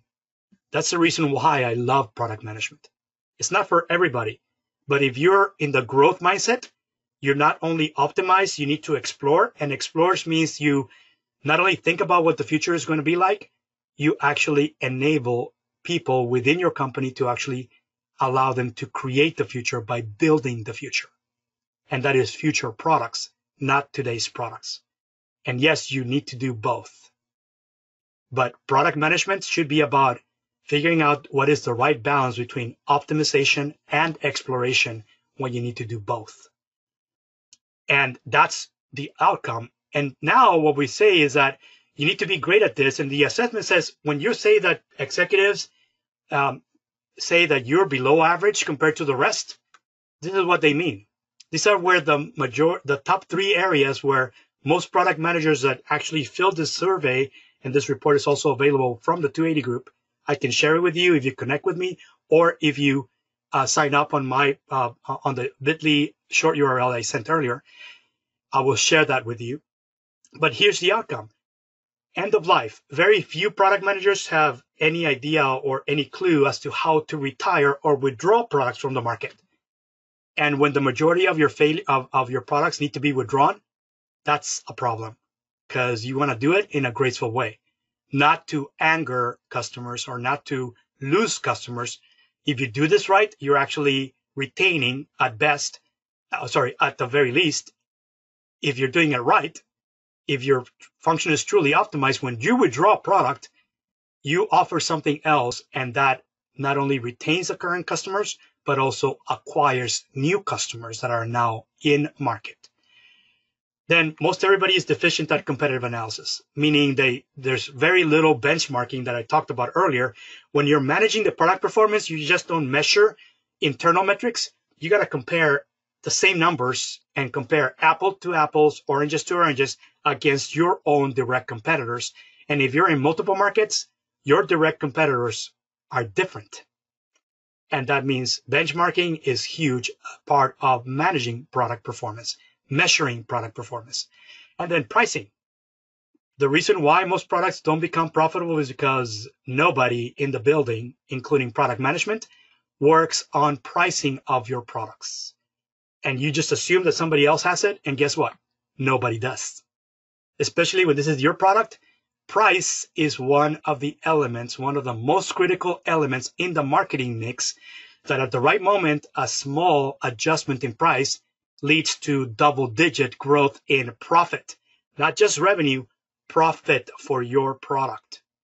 And you not, you having deficiencies as to how you price or how to price a product is a huge problem when it comes to profitability of your product. So we talk about all of these things in our certification courses.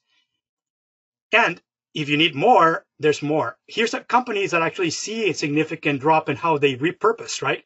You have Aventec, which is actually a company that has been making the next generation of ventilator systems. When there's a shortage right now because of COVID-19 crisis, people that get critically ill may need ventilators if they're going to survive when they get go when they wind up in a hospital. And Aventec is a mid-market company today that needed to increase because they saw overwhelming demand. They needed to increase from a few hundred systems that they're able to manufacture in US on a monthly basis to at least 10 times more. Well, they needed to look for collaborators. And very early on, companies like GM, the automotive manufacturer, said, we have lots of facilities that we're willing to give to you, make them available to you to actually help you ramp up production of your ventilator systems. And they're not the only one because everybody else, Ford and Tesla, everybody else did the same thing where they said, yes, we can help. And the mid-market company, by increasing in collaboration with players that are not, this is not their domain. It's a collaborative partnership between two different companies in the way they're ramping up production of ventilator systems. And right now, they've been doing this since this pandemic, since we went into uh, safe uh, into this lockdown mode here in US. These are all opportunities. You won't think about this if all you do is think about your swim lane and you're only optimizing in automotive. This is where you start looking at, hey, who do I collaborate with to go from being a villain or someone who's not even in mind right now on top of mind in my customers to being top of mind because I'm actually enabling smaller players to do the right things because of the current situation. And this is where uh, you're seeing this this growth and people that actually start looking at lateral thinking to figure out how to actually create and stay with the right brand awareness to make sure that whenever people go back to buying a car, as opposed to thinking about like I need a ventilator for my family or somebody. if it's not you, it's somebody else in your family or somebody else you know. And now uh, you're seeing that brand awareness by that partnership. The path to resilience requires a playbook, and playbook is all about process because in any winning in the business is a team effort. If it's a sport, it's a team sport, not an individual sport like tennis winning in the marketplace as a company requires that your entire team is coordinating what is the right balance of offense, defense, and special teams based on what's happening in the market. And who are your closest competitors? And who are you competing with today compared to next quarter compared to next quarter? That's process. It is not just about product development. It's about how do you maintain market share and product performance and continue to have better performance on your product compared to competing products in the market. That is what product management process should entail. Most people only have a few processes and don't do enough of other processes that are part of product management. And those are the gaps in process. What this study showed is that not only training and growth of your people, but also process matters even more because you can actually multiply. It's a multiplier effect. You have people who have uh, very little product management knowledge with some training.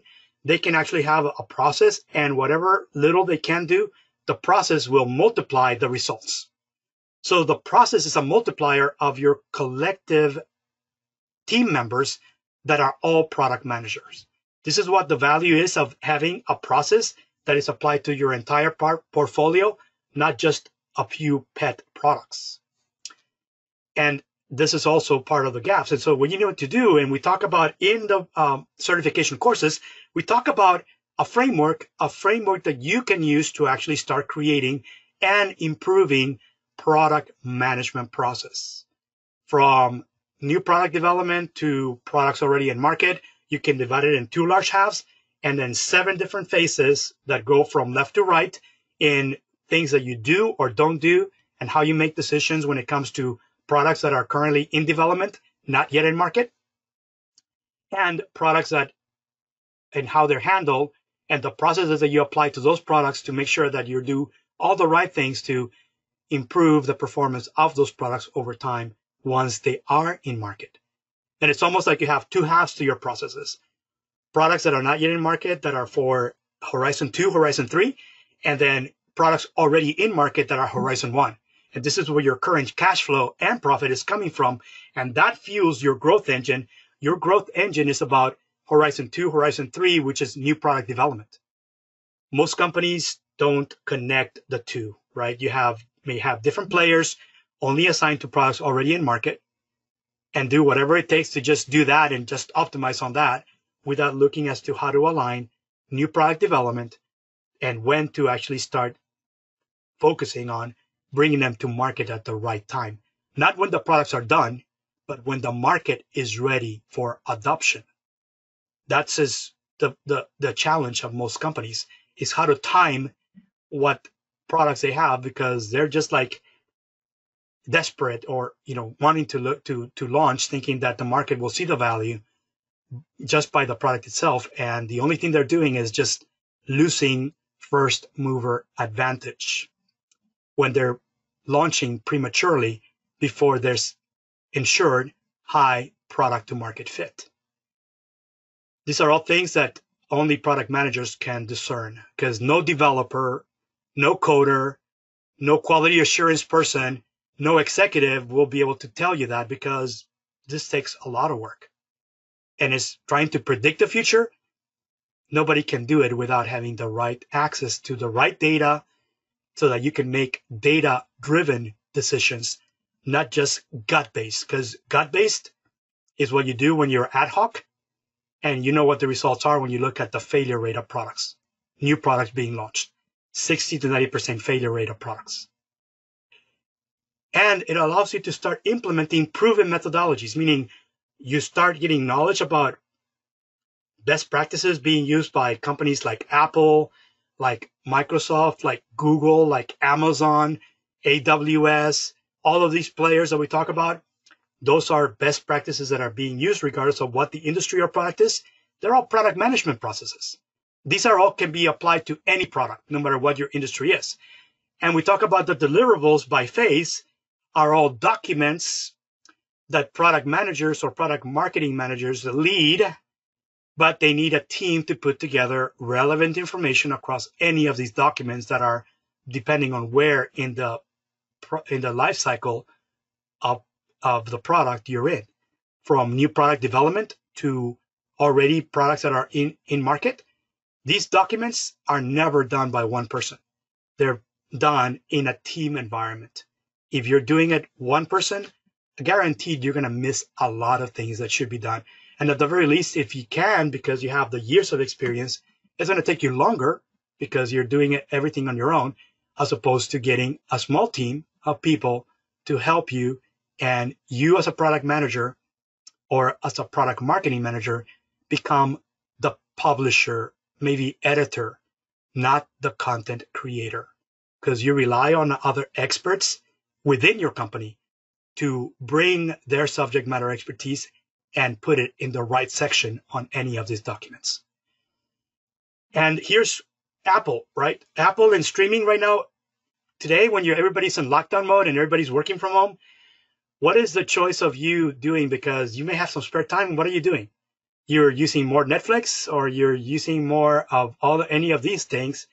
And here's Apple products because Shazam is now the newest multi-billion dollar acquisition that is being added to the Apple Music, even as Apple has already announced retirement of the iTunes application because iTunes has been is being dissolved right now and is being converted into multiple components. One of them is just streaming of music, and it's going to have integrated behind it the Shazam engine. Those of you who are familiar with Shazam, you can just turn on the app, listen to a song, and it tell you who it is, and maybe even give you the lyrics and where you can actually view the music video. All of those things are available via the app.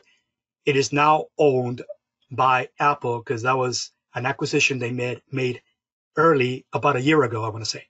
Multi-billion dollar acquisition that is now being integrated and being part of Apple Music. And my guess is that they're also going to be extending it to streaming shows, videos, shows, and movies that they have on the TV Plus. These are streaming products. Redbox and Netflix are all in market. These are the ones that are tuned in my to actually capture even more and win more market share and become more profitable. They're going to be in growth mode right now during lockdown and probably for until recovery starts. Optimize product performance. You optimize because at the very beginning when you start putting together your strategy back in the in the time where you have to reboot your entire business operating system, back when you're in number one, we talked about being able to maintain business continuity by doing better cash flow means you focus on earning before you spend means you get paid before you actually incur additional cost structure.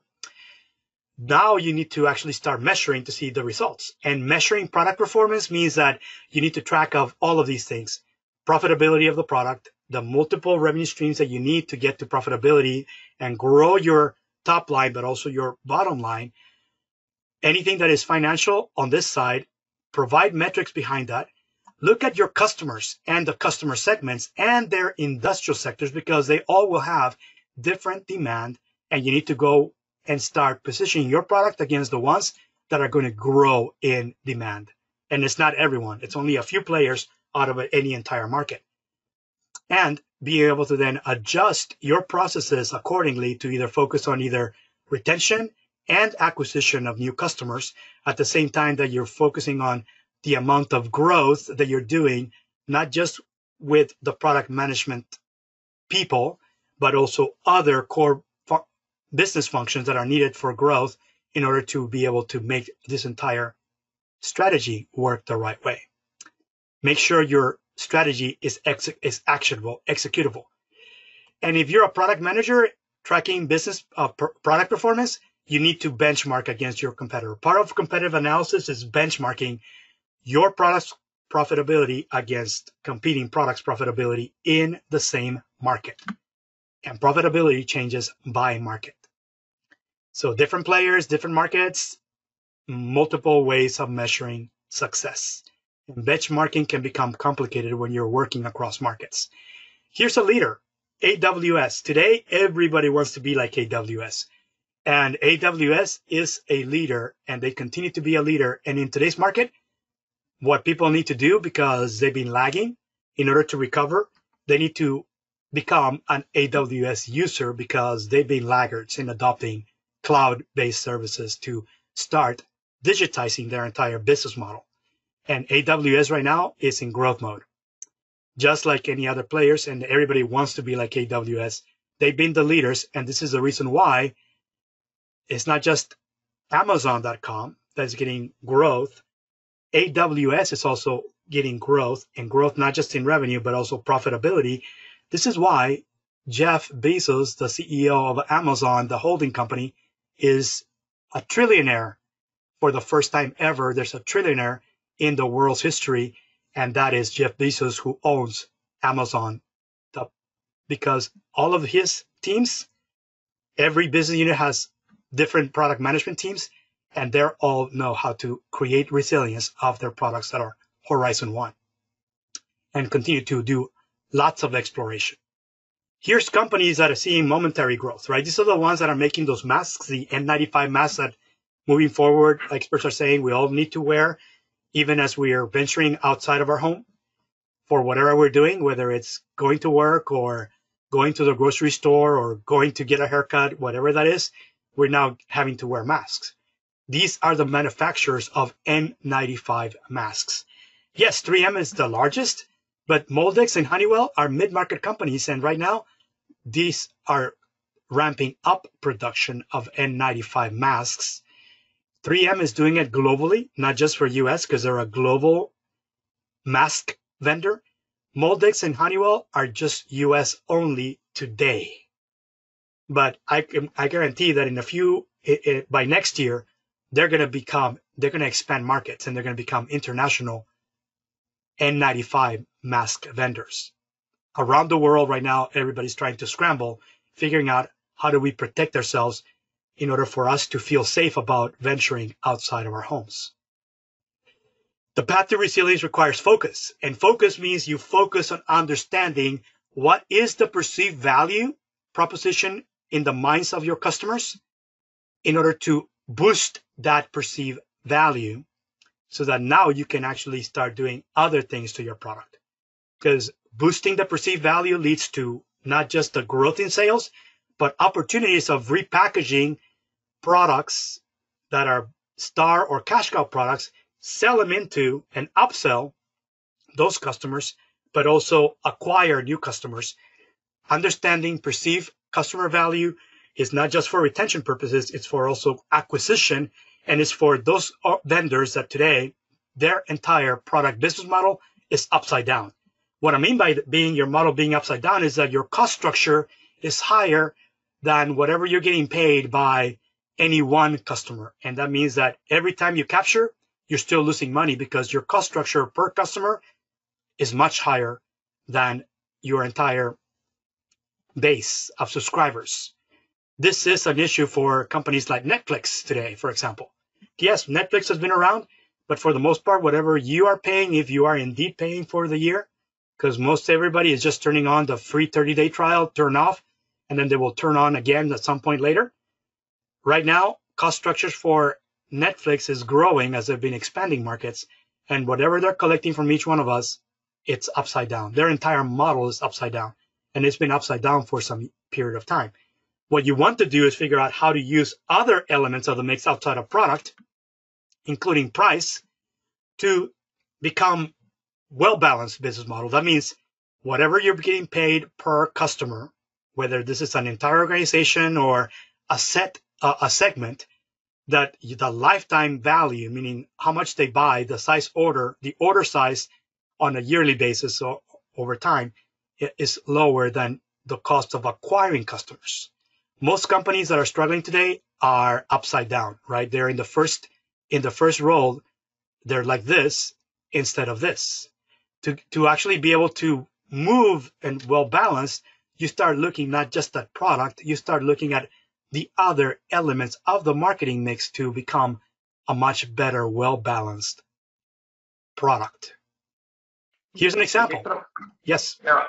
Uh, sorry to interrupt and like uh, just add on because of iftar and everything. Uh, maybe some people have like some questions to ask or something, so maybe they can write them down in meantime, and we can uh, as well maybe move in in the question and answer section. So uh, because of iftar and everything, so we don't want to in a way hold on a lot uh, to the people. What do you? Think? Yes. That's that's fine. Uh, what I can do is I can actually just uh, uh, give an overview of number seven. And number okay. seven is accelerate when needed.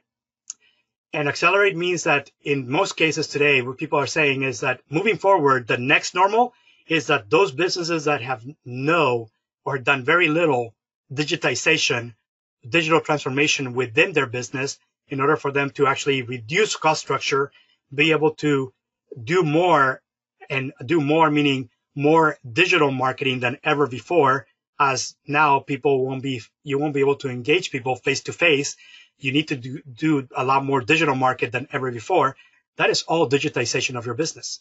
And there are entire industries such as food manufacturers food and beverage manufacturers have been typically laggards because they've been optimizing and that's all they've been doing not exploring and what they need to accelerate now these are the Pepsi Colas, the Pepsi, the, the Coca Colas when they're regional, or anyone that is a food and beverage manufacturer, they need to digitize. And digitization means that digital transformation efforts for those industries needs to be increased. And they need to consume from people that can help them design and deploy digital transformation efforts to digitize their entire business model, both on the supply side, on the on the business side, but also on the consumption side, across the entire value chain, they need to digitize. And there are many laggards that have been not doing nothing, nothing but optimization. Even when they have product management teams, they haven't assigned their product management teams on how to digitize and where to digitize first. And in most cases, product managers, when this is not their expertise, this is a domain expertise that is missing throughout the entire company this is your opportunity if you are one of those vendors that has digital transformation services to deliver. Now you need to start educating your targets because targets may not know who you are, what you do, or what it means to digitize their business. You need to make it simple. But in order for those customers to deploy, these are the five components that are about making sure that you can exploit and explore at the same time and making sure that your entire product management team knows what you need to optimize, which is Horizon 1, versus where you need to explore, which is Horizon 2, Horizon 3, which are always going to be a year or, or, or more from today. And it's a sliding window in the way that these horizons happen over time. So it's continuous work that you look to optimize for profit, optimize for growth and learning. And you need to make sure that those lessons learned are deployed not just within product management, but critical business functions within your entire organization. And you can do this. And Zoom is the number one collaboration tool that has been gaining today because it, Zoom has been around for some time. Most people are stuck on legacy systems and Zoom is right, right now the number one video conferencing system that people are using to have these agile sprints and, and, and stand-ups when now everybody's working remotely. Even when you're agile, uh, you may have been doing the stand-ups physically and no more physical stand-ups. And now you need to start adopting new tools and Zoom is one of the ones that has been leading. So in summary, we went over these seven steps. Accelerate means that in most cases, in most industries today, you're going to need to accelerate things that you have never done before. And that means you have a lot of unknown unknowns. If you need help in accelerating digitizing your business or any of these steps, come to me because I'm open to at least have discussions, figure out what your current situation is, and at least point you in the right direction. may not, may or may not be able to help you, but most likely I can help you by making sure that your team gets certified. And here's the reasons why you, you as an individual should get certified. And this is for those of you who are either currently underemployed or currently employed but unhappily employed because your company has now had significant drop in demand and no you don't really know whether you're currently working but you don't know whether you're going to be working here in the same company a month from now two three months from now this is why you want to get certified if you're in that in that segment if you're in the company that wants to get your entire team optimized and your processes optimized this is why you want should consider certifying your entire product management team. And everybody in product management, along with everybody else who works along with them, should go through any of these certifications.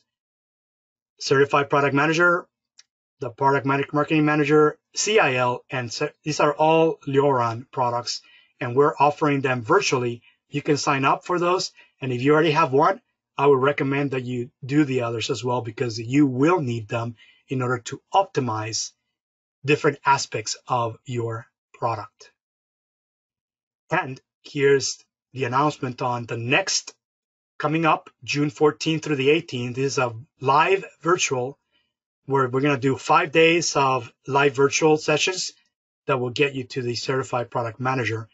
More of these certification courses will be announced later this year as reality for me is that this is going to be the rest of my next 12 to 18 months is doing not in-person delivery because it's going to be impossible for me to travel internationally. If you are in MENA or Saudi or UAE, anywhere in that MENA, this is your product if you want to become certified this year. So I would recommend that. Here's talks and information as to where you can access some of my talks because I record all of these talks just like I'm recording this one. I, um, I record all the previous ones and I make them available to anyone that's interested. And if you want to set up a time where we can talk and do an exploration as to how I can help you either certify your team, grow your team, build your team, or build you to become a much better, more effective product leader, set up some time. Here's my email. Here's my LinkedIn profile. And here's my Twitter handle. So with that, I think we're ready for questions. And uh, um, uh, do we have any questions? I, I think we do because I've seen some some of these, but just give me some of the top ones, and I can think we can actually mm-hmm. spend some time. I can say we can extend the time for those of you that need to go. Feel free to reach out to me. I can give you the recording because we're going to capture all of this. But if you need to go, well, I want to thank all of you for attending. If you want to stay, you can't stay. Go ahead and, and, and stay because I, I, I want to do, uh, I do want to answer some of the questions that we have and maybe spend a few more minutes just answering questions. Yeah, true. Uh, I would say, like, I will add on as well. Thank you a lot for for this informative uh, session. Uh, you provided a lot of uh, valuable information, and I'm not saying this uh, on my behalf. I'm saying this on behalf of a lot of people who commented. Um, a few people had to leave because of iftar, but we have a lot of engaged participants who have few questions to ask. So maybe we can um, start by a simple question. Maybe we can say like uh, Mr. Ayman has a question saying, uh, could you recommend books that can gain our skills as a product managers? So yes, number one is um, AIPMM published the ProdBook, a guide to the ProdBook, and that's uh, available uh, via Amazon.com. Uh, it's available as a as a as a copy, as a hard copy, and you can also buy the Kindle edition. And all the courses that we talked about that is for product management, product marketing are based on that. It's a publication that is about over 250 pages and it's all about product management and product marketing best practices. It has more details and um, normally we, you know, that's your best approach if you want to do some self-study. I can say that my take on this is that it does take a certain knowledge to actually be able to get the full benefit of just looking at that. But right now it's it's the one number one reference uh, outside of, of, of actually coming to any live courses that we're offering that offer the certification.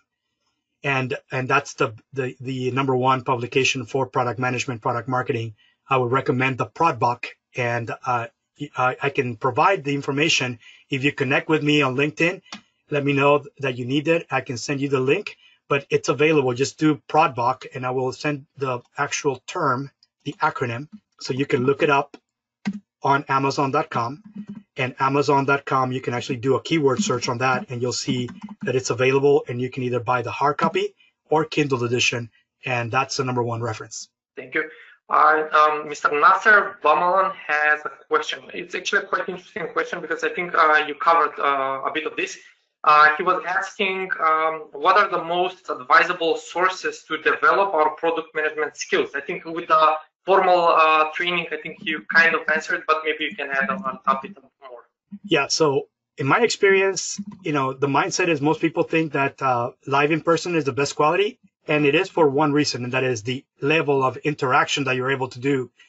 And I can tell you that the platforms that I'm using, uh, my courses are very interactive and completely different experience than on demand. So if you try to go to Udemy or Udacity, any of these, when these are all pre-recorded, there's zero interaction with the instructor. The difference is, and this is the reason why we actually Leoron is doing uh, the virtual courses that are offered by by Leoron are the next best thing to being in person. And I'm actually working with with Leoron to actively improve how to ensure that there's consistency in the delivery of live virtual courses that lead to certification. So the certification courses I mentioned earlier, the four certification courses are available as live virtual training moving forward for all of 2020. And I'm working with Leoron to schedule those. The next one that's coming up is in June. We're going to be announcing a CPMM that is a certified product marketing ma- manager course soon. It's coming in June, July. So this is the best uh, approach to getting, if you're interested in getting your certified this year, or certifying your team this year, these courses are not just publicly available, they are also available for in-house delivery. And that is the best approach right now because you're going to find that there's no, let me put it this way. I would venture there is no expertise to the level of expertise. I've been in product management for over 20 years and I've spent the last 10 years doing nothing but training of executives and senior managers within companies and doing not just public courses, but also in-house courses. I've been doing this for 10 years as a practicing product manager. I don't think that you're going to get that benefit from anybody in your regions if you're in the MENA region. The reason I know that is because that's the feedback that I've gotten from doing multiple deliveries of live in-person training in UAE, in Saudi, and the rest of MENA. So the live virtual courses is the best approach to getting someone like me to be live because everything else out that is out there is just on demand and there's no interaction with anyone.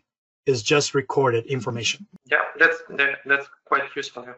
Um, we have uh, Guna uh, Natarajan has a question. I think this will be like maybe a, um, a general uh, answer, but uh, I'll, I'll, go ahead and I, uh, I will say how telecom enterprise impact in MENA region. So it's kind of like a, a general but maybe you can say a brief. So I would say in uh, right now, uh, telco has been uh, sort of trying to reinvent itself because it used to be that uh, the phone company became uh, an ISP, meaning they provide now broadband access, and everybody else has been shedding landlines, not just at home but also at work. The majority of us have now migrated to voice over IP or some other service, which is MMS, multimedia services, not just texting and voice. So yes, we still do a lot of voice and yes, we do a lot of texting, but that's done over multimedia. And most everybody today is actually consuming more video than anything else. Interactive video. And that's what I'm working on right now and making my courses more interactive by not just having a live instructor, but also having recorded content. And when you're buying, you're buying a combination of both uh, on demand, but also live. And then the live after the live session becomes on demand for that course. And that's the kind of model that I'm moving all of my courses to. And, and right now in, uh, with Leoron, I'm focusing spe- specifically on certification, but I'm going to be launching in 2020 more of the hands-on virtual workshops for product managers for product marketing managers. And I'm going to be doing more of these hands-on workshops. Things like how do you start putting together a market needs or market requirements document? How do you put together a product roadmap? How do you put together a business case for your product? All of these things, these are more detail, more hands-on things that we don't get into enough detail because of lack of time in a certification course. I'm going to be introducing a whole a, whole slew of those type of courses that are just available on demand um, as virtual live training in combination with on demand training. And we're going to be announcing those. If you're interested in those, connect with me on LinkedIn or write me an email because right now I'm working on what platforms I'm going to be deploying that in. And that's currently in the, in the works, but I will be launching those in the next two or three months. Yeah. Um, a lot of people missed on the McKinsey report. I think I will answer them uh, uh, this question. Uh, you will have uh, the whole presentation available afterwards online, uh, shared through all the links as uh, Mr. Hector mentioned. So if you want to preview a few of the slides or some other, because there was a lot of beneficial information, we'll share the link afterwards and you can access it. I think that that can answer to a lot of people who were inquiring about the McKinsey. Um, we have a question from Peter uh, who was asking that, do you think that psychology is important for product managers like in taking necessary courses? I personally see uh, it is very important, especially that a product manager deals with many people from different backgrounds. That is correct. So you, you don't necessarily need to have uh, a psychology course, but you just have to have access to the right experts, right? I mentioned that earlier. There are at least 15 domains of expertise for anyone that wants to be exceptional in the role of product management. It does, you don't necessarily need to be a psychologist or an anthropologist, but you could have access. And if you don't have access within your company, you can outsource that, that type of work to understand buyer behavior. And typically there are service providers that do that. I can definitely, uh, at least refer you to some, but some of those. But what you need to do is understand what are, where does this help you, right? And I mentioned earlier that one of the biggest gaps uh, uh, across in domains of expertise where you're below average is understanding or empathizing, understanding buyer behavior is the problem where most organizations struggle because the people who are trained by profession to really understand buy behavior are someone's that is, you know, anthropologists, business anthropologists, business psychologists, and you don't necessarily need to have them in your team as product managers. Just outsource that work and go to experts. If you need help in identifying experts, uh, let me know. I can I can at least point you in the right direction. I also just sent via the chat the link where you can sign up so you can actually fill up that web form that's in that landing page. You'll get an automated reply, and then later on, I will send a link to a post-event page where you get in that in that landing page access to my entire slide deck, the video that is being recorded of this live session, and also a podcast because I'm going to have all three of those in addition to just uh, brief summaries and information to additional references that I use for this particular talk. Um, another actually quite interesting question. Um, what is the percentage of passing CPMM and how many people pass out of the 100? Uh, if I can add on on this, I would say it depends if Mr. Hector is your trainer or, or somebody else. I would say if it's with Hector, it's 100%. but yeah, I would say. Be, yeah. I would say that out of all the ones, and I actually work for a lot of different uh, providers. Um, you know, I, I, used to be uh, an expert trainer for the 280 group here in North America. They're the largest that offer these certifications. I, I worked with them up until a few years ago, and um, you know, I I've been with the best, and I know that uh, out of everybody else that you have access to, um, the highest I have the highest percentage rate compared to anyone that wants to get any of these certifications that are AIPMM certifications. And it's not just me saying it. I have uh, actually referrals that and prove that I get the highest passing rate. And I think passing rate is not just uh, uh, uh the the the consistency of the delivery, right, of the trainer.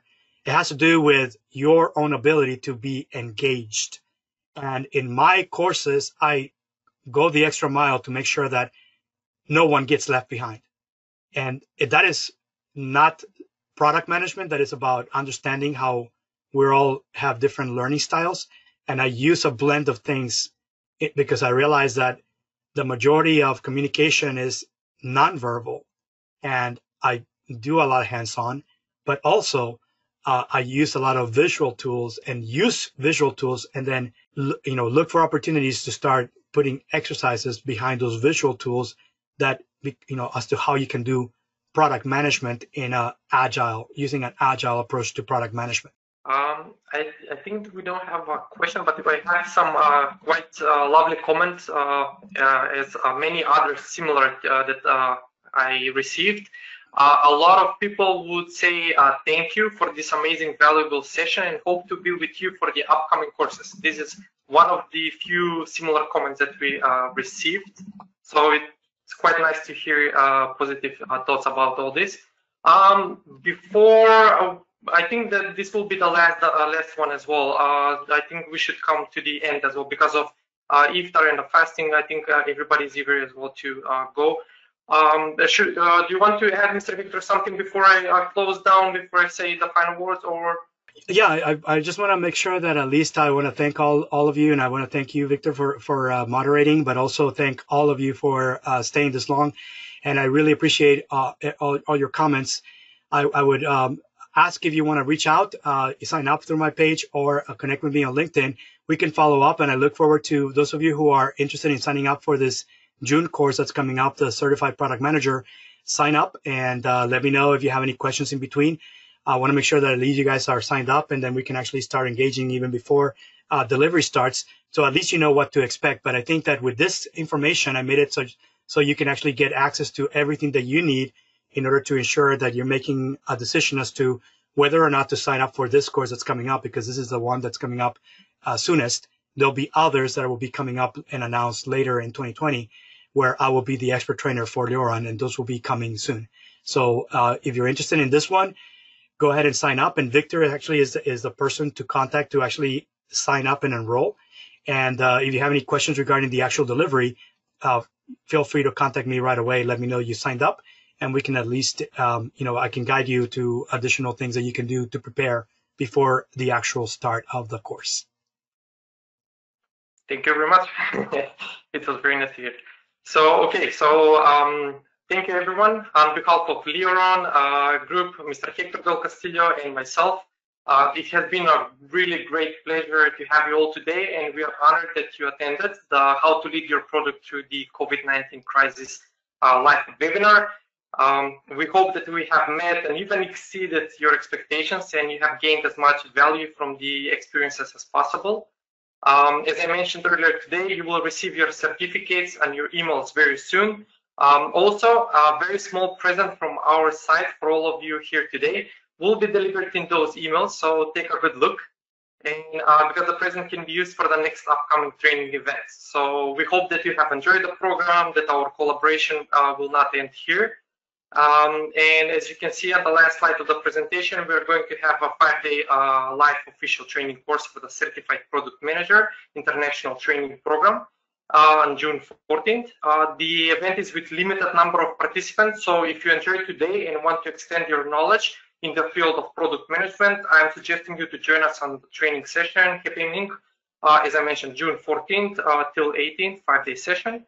And uh, write down my email address, Mr. Hector's address, so feel free to reach me anytime. I will be glad to assist you with information and, of course, uh, to sign you up for the event too. Um, we look forward to seeing you there, and thank you. Thank you so much. This will be it. Bye-bye. Bye-bye.